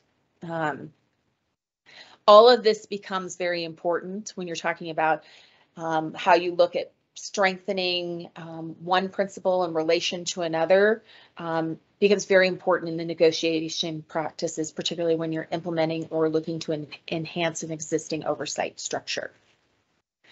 I think also just making sure that you continually look at unintended consequences is very important. You don't want to do more harm than good. So with that, I'm going to move into the 13 principles. So I think it's important to note before I start going into each of these individually that NACOLE did not sit down and come up with 13 principles. Um, what we did is look at the work of academics and oversight practitioners who have come up with parts of this here and there and have pulled together um, into one place what we as an organization feel like are the main principles for effective civilian oversight of law enforcement. So I always like to um, talk about, you know, people like academics like Sam Walker, who for a long time was the only academic really working in this field who came up with some of uh, the principles you see here. Um, practitioners like Barbara Attard and uh, Kathryn Olson and Richard Rosenthal, who also have done work um, in this area and kind of taking all of those and putting them into one place um, in a way that we felt would really affect um, the work of an implementation of civilian oversight in, an, in a positive manner. So first, let's start with independence. So, so Independence is the absence of real or perceived influence from law enforcement, political actors, and other special interests. There are three different types of independence that we often talk about, and that's structural, um, which is making sure that your oversight is entity is separate, um, both administratively and organizationally. Um, political independence, um, which really refers to the extent which political actors can influence your civilian oversight entity. And then also operational. So even if you have great structural and political independence, it's really important to be able to operate independently um, because of the, the possibility of being um, what perceived as being co-opted if you have a lack of control over your operations. Um, it also, independence also has a lot to do with impartiality, fairness, and working in a manner that maintains stakeholder trust is very important in independence. Next, we have scope of authority and, or I'm sorry, clear, defined, and adequate jurisdiction and authority. So adequate um, jurisdiction and authority are very important when we're talking about achieving the goals and mandates of the oversight agency. Um, it varies very widely from agency to agency. I would say uh, from rever- reviewing your enabling legislation, you have a broad, uh, fairly broad amount of jurisdiction and authority. But you know, each oversight model requires different combinations of authority at the most uh, lowest level in order to effectively perform its its work. So, like if you're an investigative model, this might look like you're having the ability to interview all the witnesses. If you're a review model, it might look like the ability to address, you know, the authority to address deficiencies and promote corrective action. Uh, if you're an auditor, uh, this might look like the authority to identify matters of concern and also having comprehensive access to law enforcement records, data, and executives. So it may look different from model to model, and definitely some of those things I mentioned might uh, be combined in a hybrid situation, but all of them are important in order um, a lot of those things can't happen unless you have the jurisdiction and authority to do so. Um, stakeholders in the process, of course, you are beyond this point now, but um, a lot of times it's really important to get stakeholder um, input on the types of authority that are most important to them.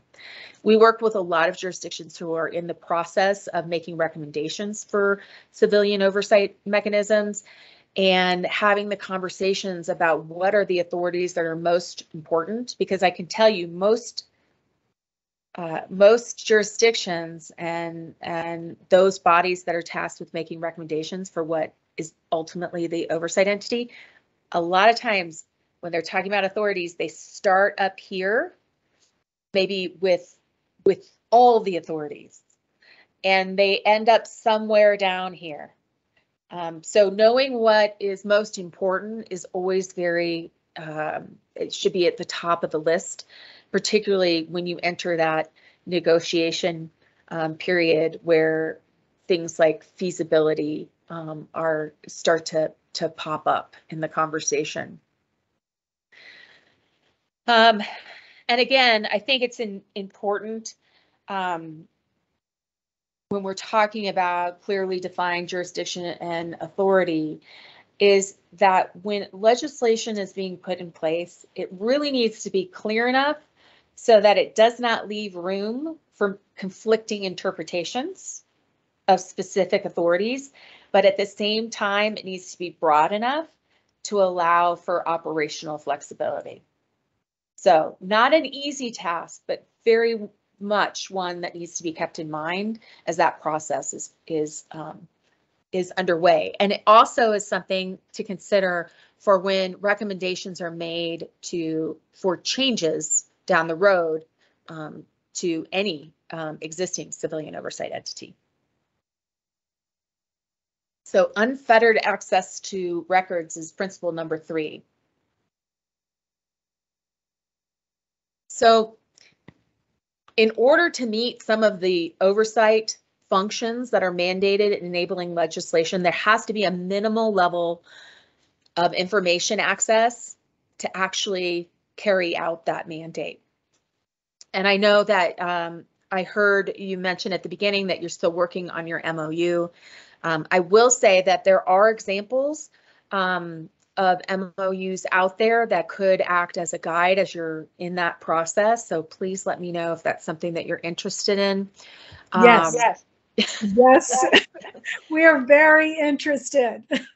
well, there there is one that I often provide, and actually, um, is it? I'm sorry if I'm pronouncing your name wrong. Is it um, Mumi or, or Mummy? That's It's- mummy. It's mummy.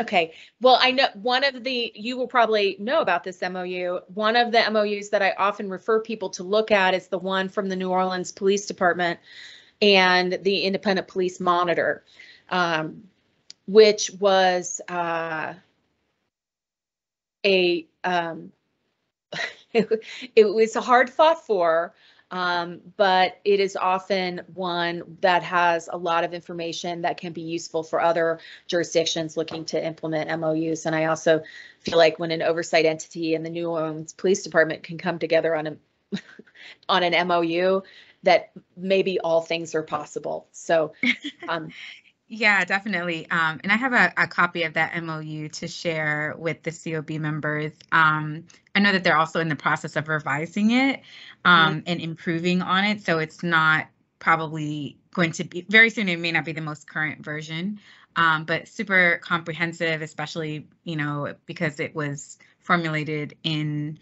the midst of a consent decree and um, you know, and so for that reason, it's going to be really extensive in terms of policies and um, effective practices for accountability and transparency.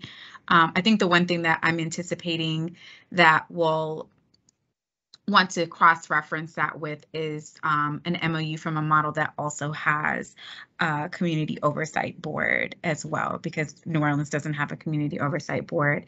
Um, so to that extent, the MOU is mostly focusing on um, the relationship between the police monitor and NOPD, which our MOU will probably have um, correl it'll correlate with ours in the sense that it'll, most of the MOU is like terminology or like agreements about how to, let's say, share information or whatnot with an auditor or a police monitor's office and um, the corresponding police department. Um, but yeah, we're, we're trying to figure out exactly how to, um, to what extent and how to incorporate the COB's role in the MOU and, and what needs to be addressed there.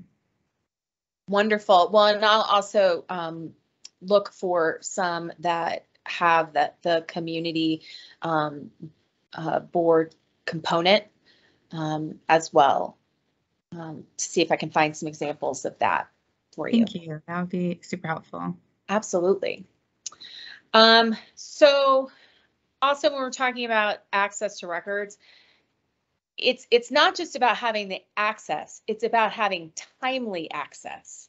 Um, making sure that there are time limits on the amount of um, on the duration of time that it takes between request and receiving the information. Um, and then also it's in addition, it's not just about department records and information, it's also about facilities. And I say that, I know that you do not have, um, well, I really say that because there are um, oversight entities who do also have jail um, oversight. And so having access to facilities is also incredibly important in that in that um, in that realm. Um, and I think that you all are lucky in the sense that your enabling legislation mandates the necessity of an MOU. Um, not all of them do. And so because of that, you're already, you and the police department are being told that there needs to be a what and a how, and it and it needs to be in writing, um, and timeframes need to be also part of that. So I think that part is really good, and now it's just a part, the point of of creating it and having it um, effectuated. The other, the next one is access to law enforcement executives and internal affairs staff. So it's really important to have a sustained dialogue to promote cooperation and support for both roles, both your role and law enforcement's roles, whether it's the executive or the internal affairs staff. Um, you really, when communication breaks down, oversight is nearly impossible. So that is a um, a relationship that and uh, a level of cooperation that needs to be um, continued. Um, that doesn't mean that there won't be periods of disagreements um, and frustration on both parts, more than likely. Um, but it um, really does um, help the process. Um, and I, I will say, and often this comes up when we're talking about implementing civilian oversight, but I do think it carries through um, into the day-to-day work of it that um, we find that any group, any stakeholder group that feels like something is being done with them as opposed to to them makes for a better process and a much more effective one overall. So something to consider as you move forward in the work. Um, I mentioned timeliness um, earlier when we were talking about access to information, but also uh, re the requirement of law enforcement agencies to provide things in a timely and written um, manner that's available to the public, which your enabling legislation already deals with to the great extent, um, is also really important. Um, next, we have full cooperation. Cooperation is absolutely necessary to be able to, to carry out your mandate. There's just no way around it. Um, but the cooperations and the conditions of the cooperation need to respect uh, due process rights and an individual's constitutional rights against self-incrimination. So please keep that in mind as you're looking for full cooperation from the agency. Um, I like to give the example the, um, of the Chicago um, Civilian Office of Police Accountability, um, who in their enabling legislation has taken this full cooperation to an additional level. I'll, I'll just quote um, what the legislation actually says. It says, it shall be the duty of every officer, employee, department, and agency of the city to cooperate with the Civilian Office of Police Accountability in any investigation undertaken pursuant to this chapter. Any employee who violates any provision of this chapter shall be subject to discipline, including but not limited to discharge. So I will say that that is at one end of the spectrum, and then there are agencies who have nothing in writing about what happens when there's no cooperation. And so the thought is the MOU that you'll have in place will have something in between there that will call for cooperation to allow you to carry out your mandate um, and and prohibit um, a lack of cooperation.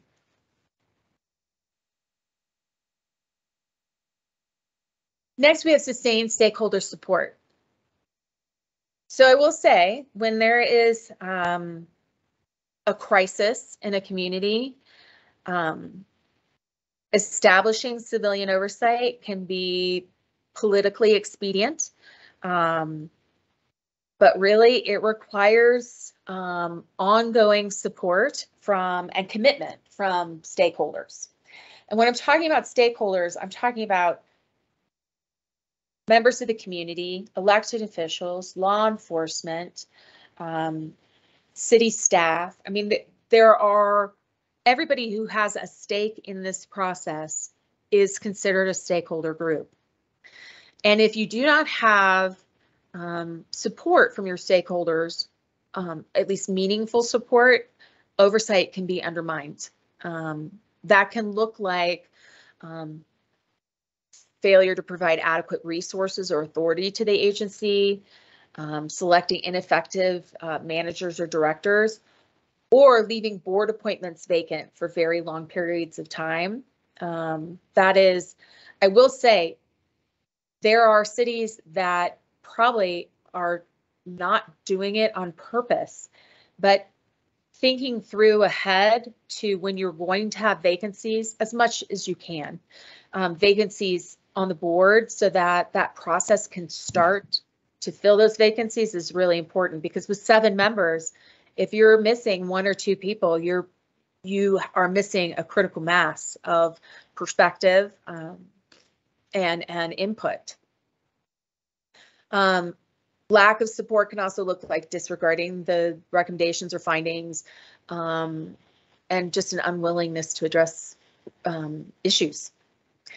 Um, the ability to maintain support from your stakeholder groups, um, that lies very much in your community outreach piece. And sometimes that's the community outreach of uh, the work that the, the board is doing.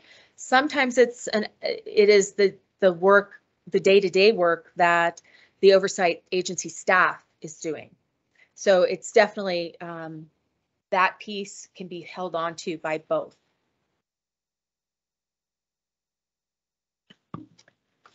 I also think, and I'll use uh, New Orleans as a as a um, example again.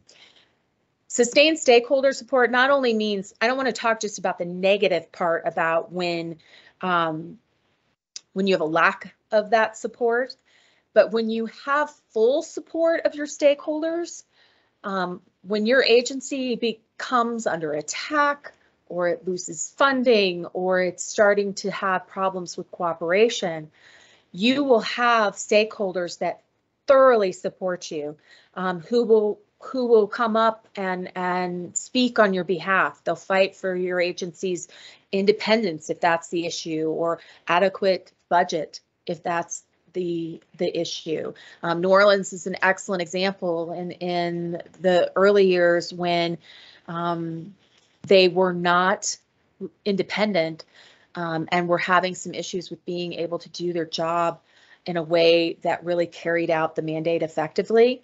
Uh, stakeholders, they went to the mat for them, um, and uh, they ended up with a better mechanism because of it. So stakeholders are very important at the beginning and all throughout um, the agency's work. Next, we have adequate funding and resources. So I'll just be honest with you, I have never heard an agency tell me that they are overfunded and have more resources than they know what to do with. Um, over, but however, when you put authorities into enabling uh, legislation, it's really important for a for um, local government to actually back those up and allow those to be carried out um, through um, adequate and necessary resources.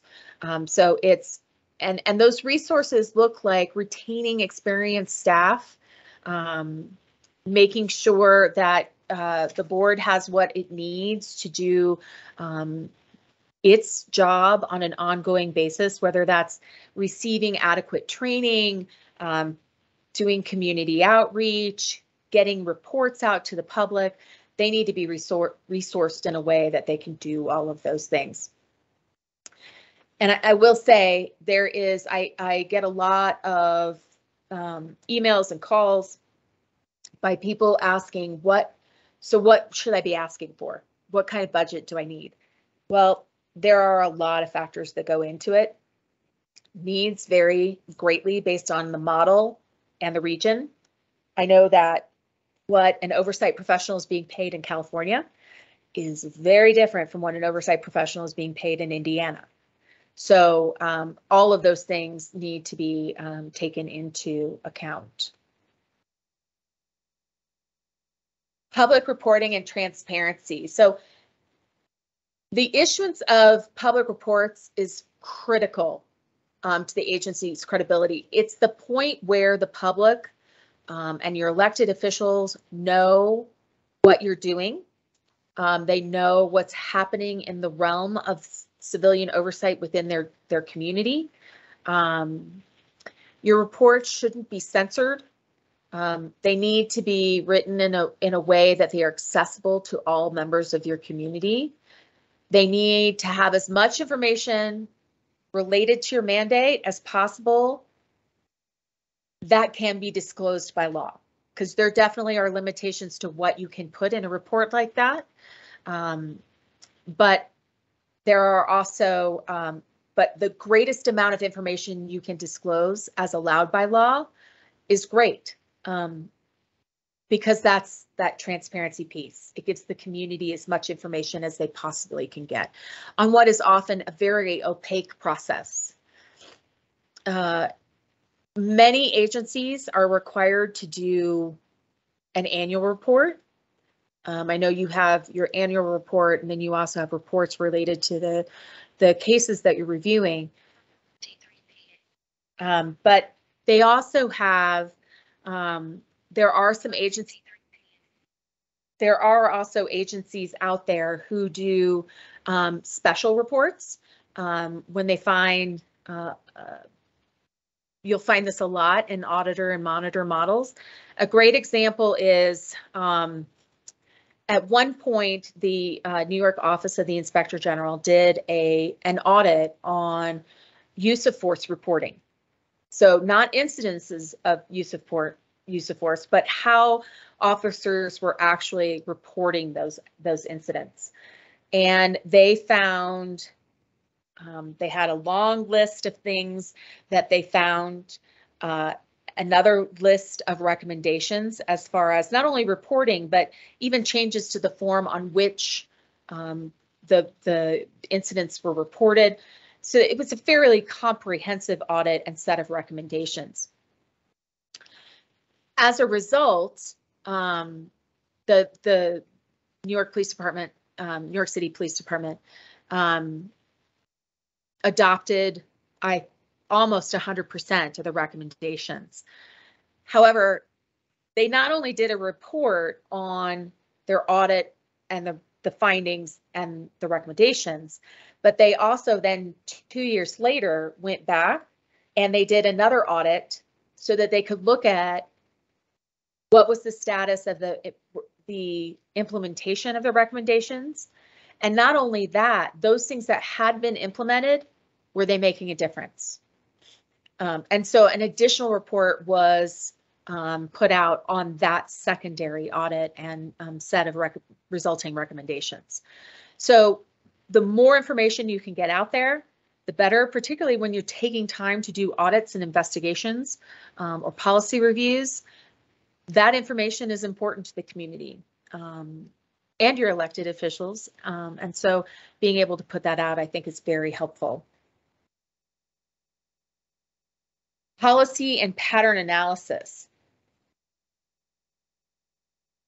So really looking at um, policies and practices address systemic problems in law enforcement agencies. We've kind of talked around this quite a bit in the training today. But doing the analysis is really important and an essential step. You really can't formulate recommendations unless you're doing the analysis. Um, it needs to be data driven and evidence based um, and about specific issues um, that uh, and when it's about specific issues, it allows you to pinpoint areas of concern and then therefore follow through with recommendations for improvement on those specific areas. So another important part of this is that um, looking at how misconduct um, incidents are handled, whether or not they're properly investigated, um, it's really a very important tool for building public confidence. So it's about doing the work um, in order to have some of the goals and outcomes um, of effective civilian oversight. So doing that proper policy and pattern and pattern analysis is a tool to help build um, public confidence um, and also work towards the systemic and long-term change um, that that your model is hoping um, to affect.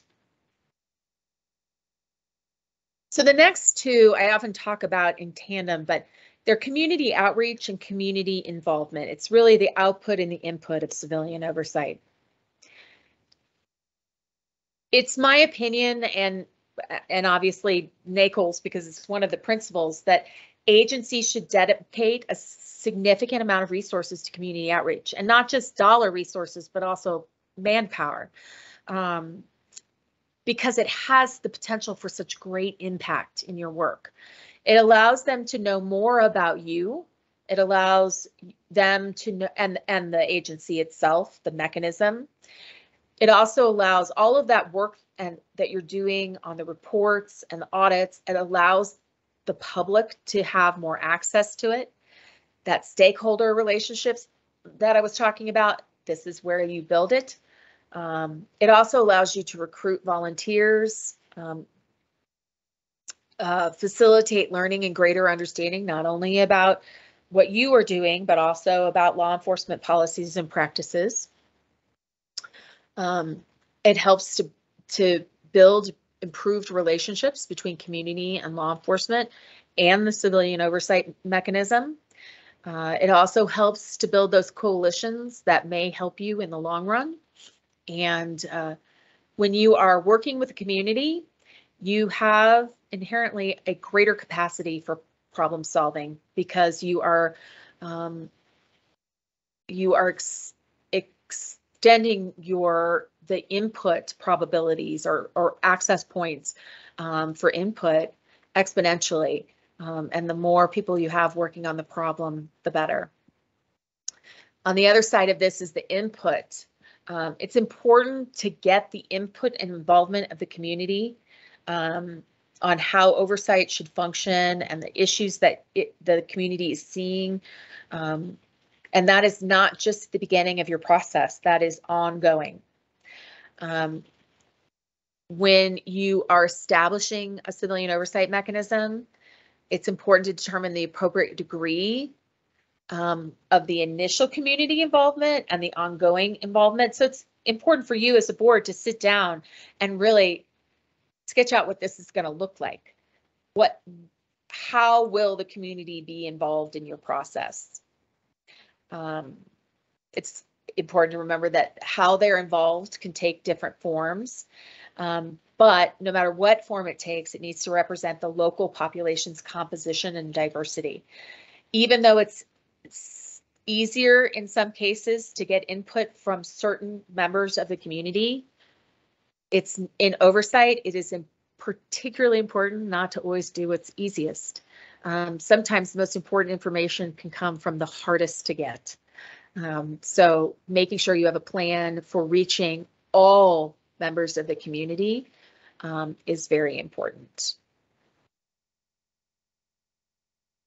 So next we have conf confidentiality, anonymity, and protection from retaliation. So this is um, very important. And I know that your um, enabling legislation lays out um, the need for you to follow all um, state and local laws regarding confidentiality. Um, but it's also important, you have to remember that um, people who come to you with complaints in an anonymous manner, they do so for a reason. I am the first one to admit that anonymous complaints are very difficult because you don't have a whole lot of information. You can't go back to the person to get additional information.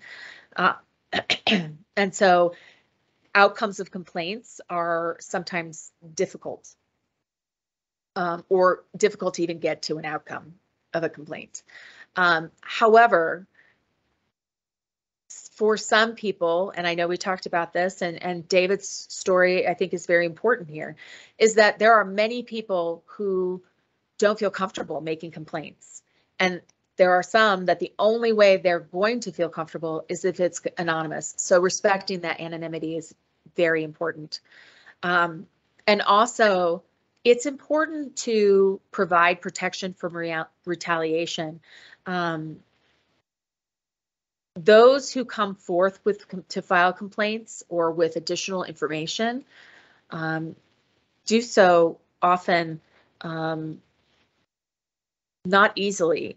Um, and I can tell you of some um, complaints where you might have a complaint where someone makes a complaint in good faith because they believe what was done was wrong, but uh, in the heat of the moment might have forgotten some details or might have misheard some of the things said. Um, and so those are things that you as a board are going to have to take into consideration when when you are reviewing investigations um, and that anybody who does investigations um, primarily also has to take into consideration. And so our last um, our last principle goes back to procedural justice and legitimacy. So it's it's really centered on participation, uh, objective and neutral decision making, respect, and trustworthy mo uh, motives. Um, and and just being part of the process. Um, individuals um, find themselves more satisfied with procedures that give them a voice and the ability to participate by allowing them to communicate their views on specific situations. So having an accessible complaint process is one way that you can achieve that. Another element of the procedural justice and legitimacy is the neutrality. So objectivity and neutrality and decision make decision making as opposed to um, decision making stemming from personal bias or interest increase perceptions of fairness and legitimacy um, as well as objectivity in the process. Um, next, we talk about dignity uh, and respect. Treatment that is dignified, respectful, um, and recognizes an individual's rights um, is strongly tied to perception of fairness and legitimacy. So I, I can't underscore enough the importance of the treatment. And one of the reasons I underscore it is because most um, most oversight entities that look at misconduct complaints um, will often, the majority of them will often fall into the um, behavioral complaint. Um, a lot of times the complaint stems from how people were treated. So looking at this is really important. Um, the final element is trust in the motives driving decision making. So procedures are more likely to be perceived as uh, fair if people feel that decision makers actually care about people's well-being and concerns. Um, and also that they explain their decisions in ways that account for the person they're dealing with's needs. Um, when you take all of these four things together, um, it forms the basis for providing effective civilian oversight that's felt to be legitimate by the community served and legitimate um, by the overseeing law enforcement agency. Um, so, you know, it's one of the reasons we leave it, leave it until last. It's a very important principle. And I also, I actually uh, don't always say this um, when we're doing the training. I had a very interesting conversation with an academic today who was talking about he he reviews thousands of hours of body worn camera footage for uh, work that um, his university is doing. And one of the things he mentioned, we were talking about the importance of procedural justice. And one of the things he mentioned is that he often sees in video that procedural justice is exercised, but it's compacted and it's all at the very end. So I think it's really important to note that procedural justice has to be something that happens throughout, that you need to be treating people with dignity and respect, giving them a voice, um, it, and uh, acting in a neutral and unbiased manner, not just at the beginning or the end of a process, but throughout. And this is very important for oversight entities. We're not just talking about how police um, are interacting with the public. It's also about how you are interacting with the community, with law enforcement, and other stakeholders in the process. So I think we often just attach procedural justice and legitimacy to the actions of police, but I think it's also something that civilian oversight, um, members of civilian oversight also have to take um, very seriously. So with that, um, I we have some time for some additional conversation and um, questions. So I'm going to stop sharing my screen. When um, I will note that the last slide on this does have my email address. So it, um, since you all have a copy of it, um, please feel free. If you don't have questions now, but you may have questions later that come up, um, please don't hesitate to send me an email.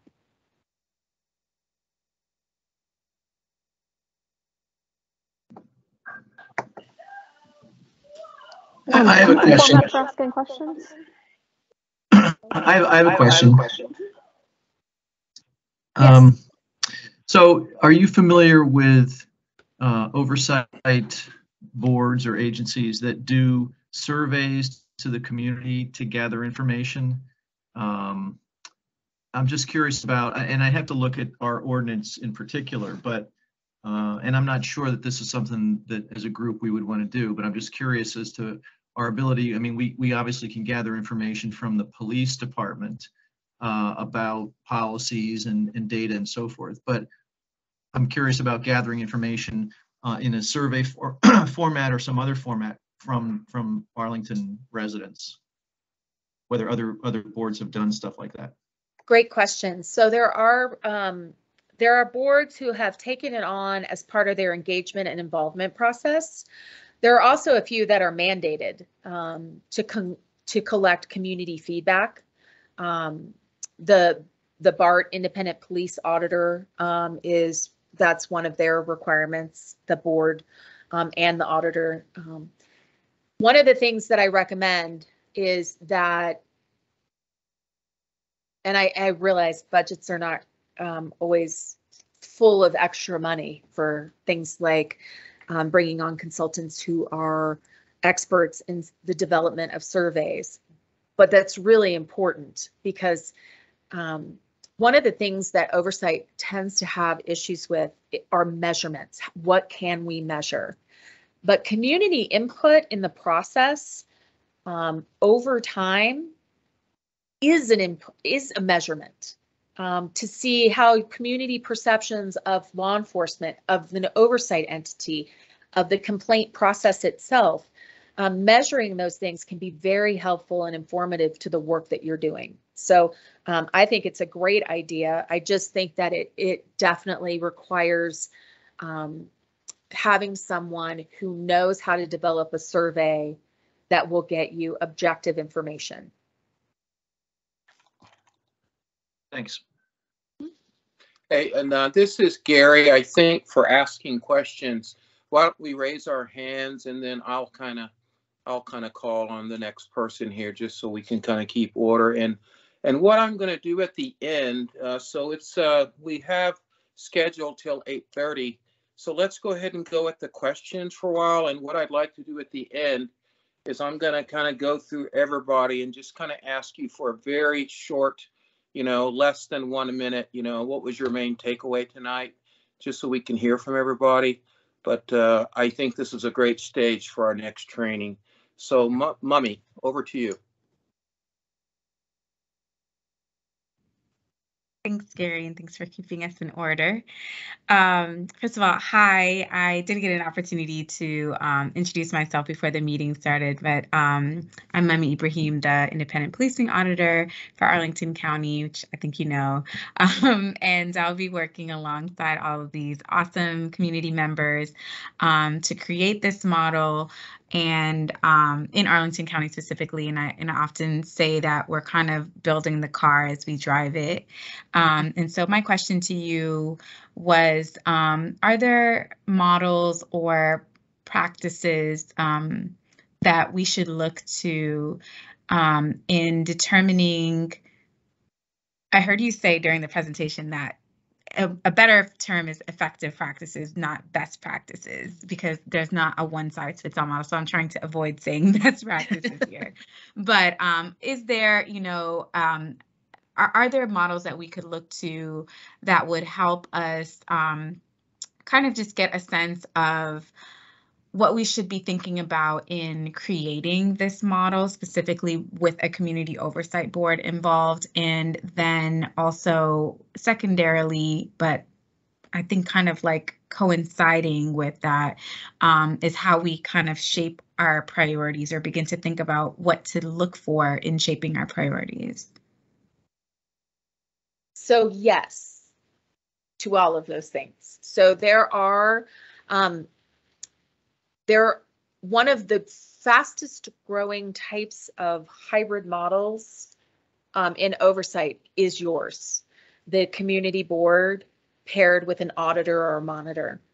Um, so there are lots of examples out there, not only of ones that have been in existence for a while, but also those that um, are just maybe four or five steps ahead of you. So they may have some very recent lesson learned lessons learned that could be helpful as you implement um, this. So I'm happy to pull together um, that. I think what might be helpful is not only pulling together, you know, some of the you know policies and procedures and things like that that they're using, but also putting you in contact with the auditor um, and putting members of the commission or board in contact with other board members out there who are doing the works because the perspective is different um, Mhm. and the needs can be different as well. So um, making sure everybody has um, what they need, but definitely there are some great examples out of, out there of both older agencies and newer ones who are doing the work.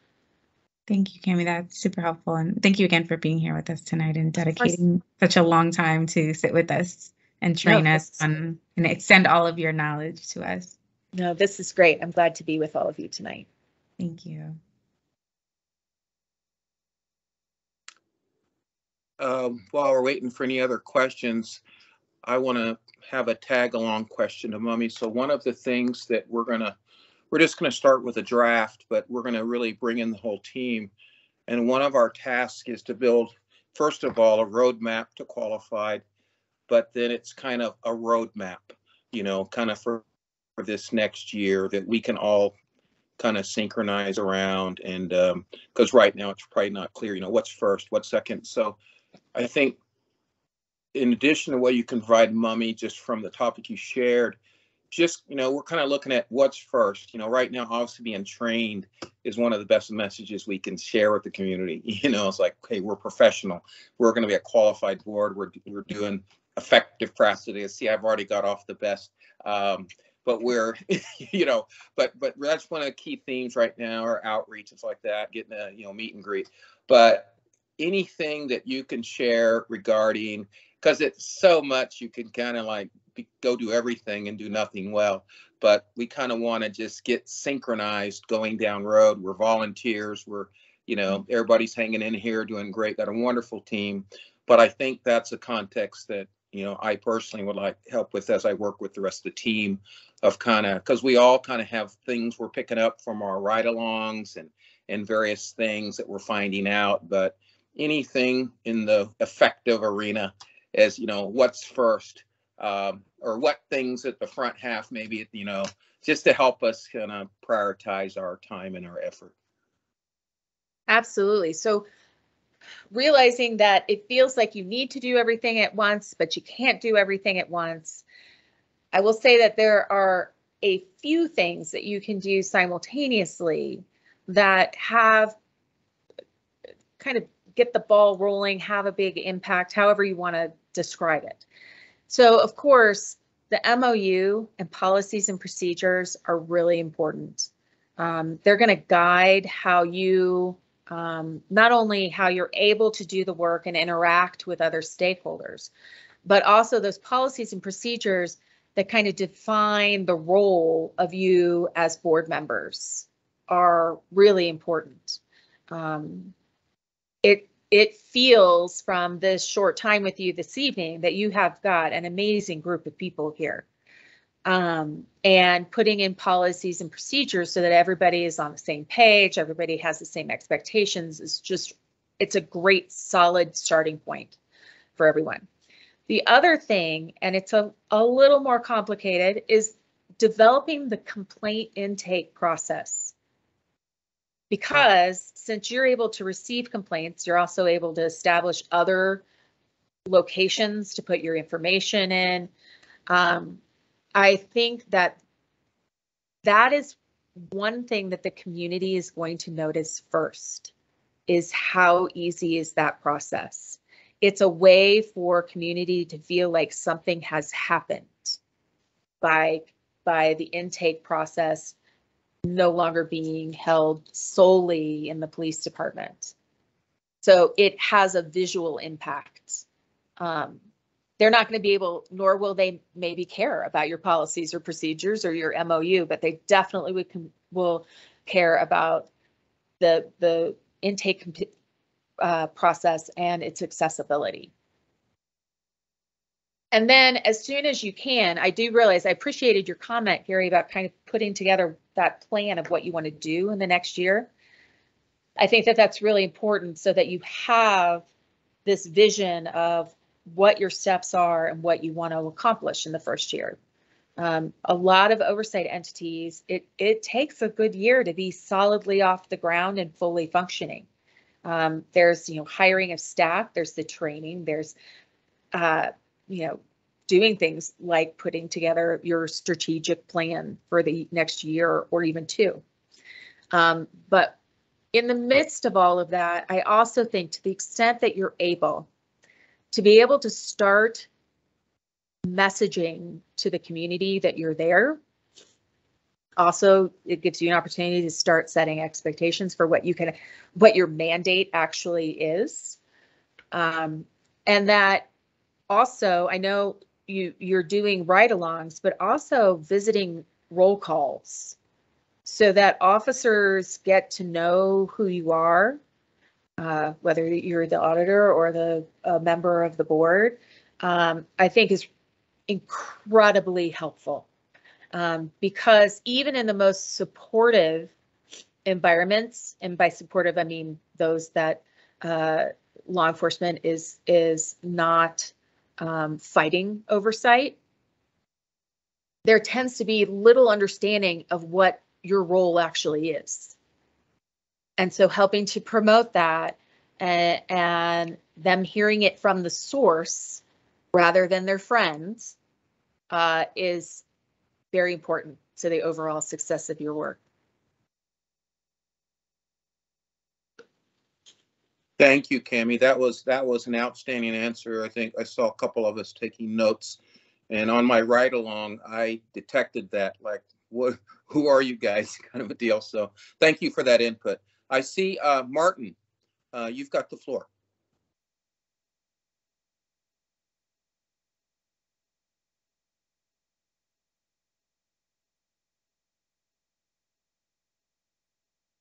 Sorry, you waiting on me? Oh, we can hear you Yes, go ahead. You have the floor. Go ahead. Okay. Um, so my question was, um, I heard you saying that um, one of the first things that the public might notice about the COB or um, what they might actually care about is the complaint intake process. Mhm. Um, as time moves on, what might they notice and care about, um, you know, as the COB develops? So that's a great question.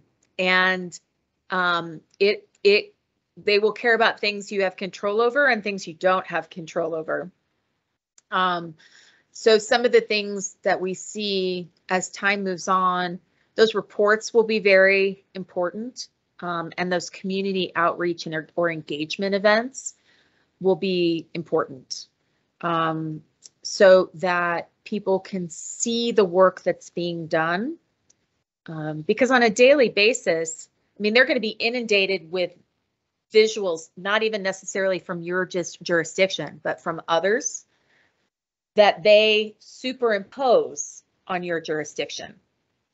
And so letting people know this is what we're doing. These are the type of complaints we're getting. These are the things that, um, these are the, you know, the stats on um, whether or not they're sustained or there was no evidence um, that misconduct occurred. Being able to give them that information, that will be very important.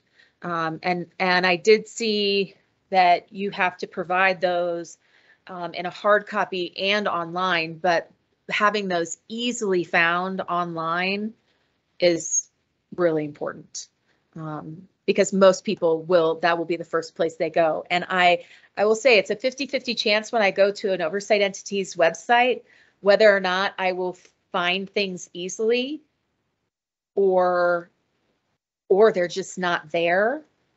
Um, so making sure that things are accessible and that people know what you're doing. Um, and I think that at the beginning, everybody's very excited about making all of these things happen. And it, it is, um, it's a lot of work. And so sustaining the, the enthusiasm for the work that needs to be done is also something that'll be important. So that Gary, that's one of the reasons I'm excited that you, about your your focus on kind of building um, the group, um, getting to know each other, and uh, giving people space for their voices. I think that that those type of things um, will help sustain the momentum.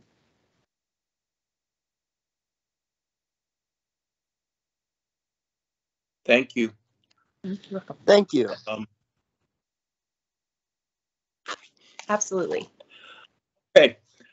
Um, what I'd like to do with the last five minutes, and here again, Cami, thank you so much. I know if Lisa was here, um, the rest of your presentation.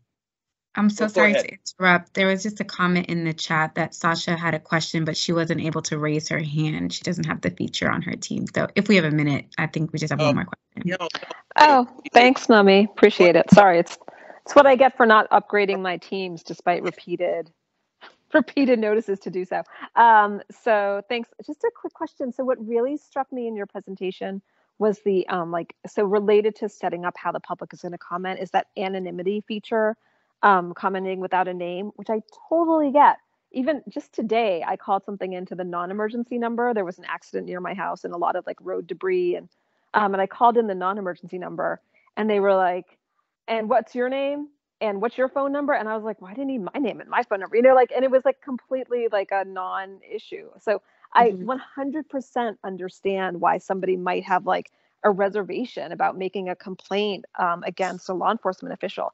So my question to you is, how do you preserve the anonymity um, and the ability to make a complaint without giving a name or an identifying feature while making sure that that isn't taken advantage of by the public like uh like in retribution especially in sort of this the the kind of with the sort of like public anti-policing environment that we're seeing. Like if if i don't know like say somebody got a, a traffic ticket or something like that and and you know emotions are high and somebody is mad and they they make a complaint and then and then so how, how do you avoid situations like that where um maybe somebody is just making a complaint just to like let off some steam or to maybe even to get back at somebody or something like that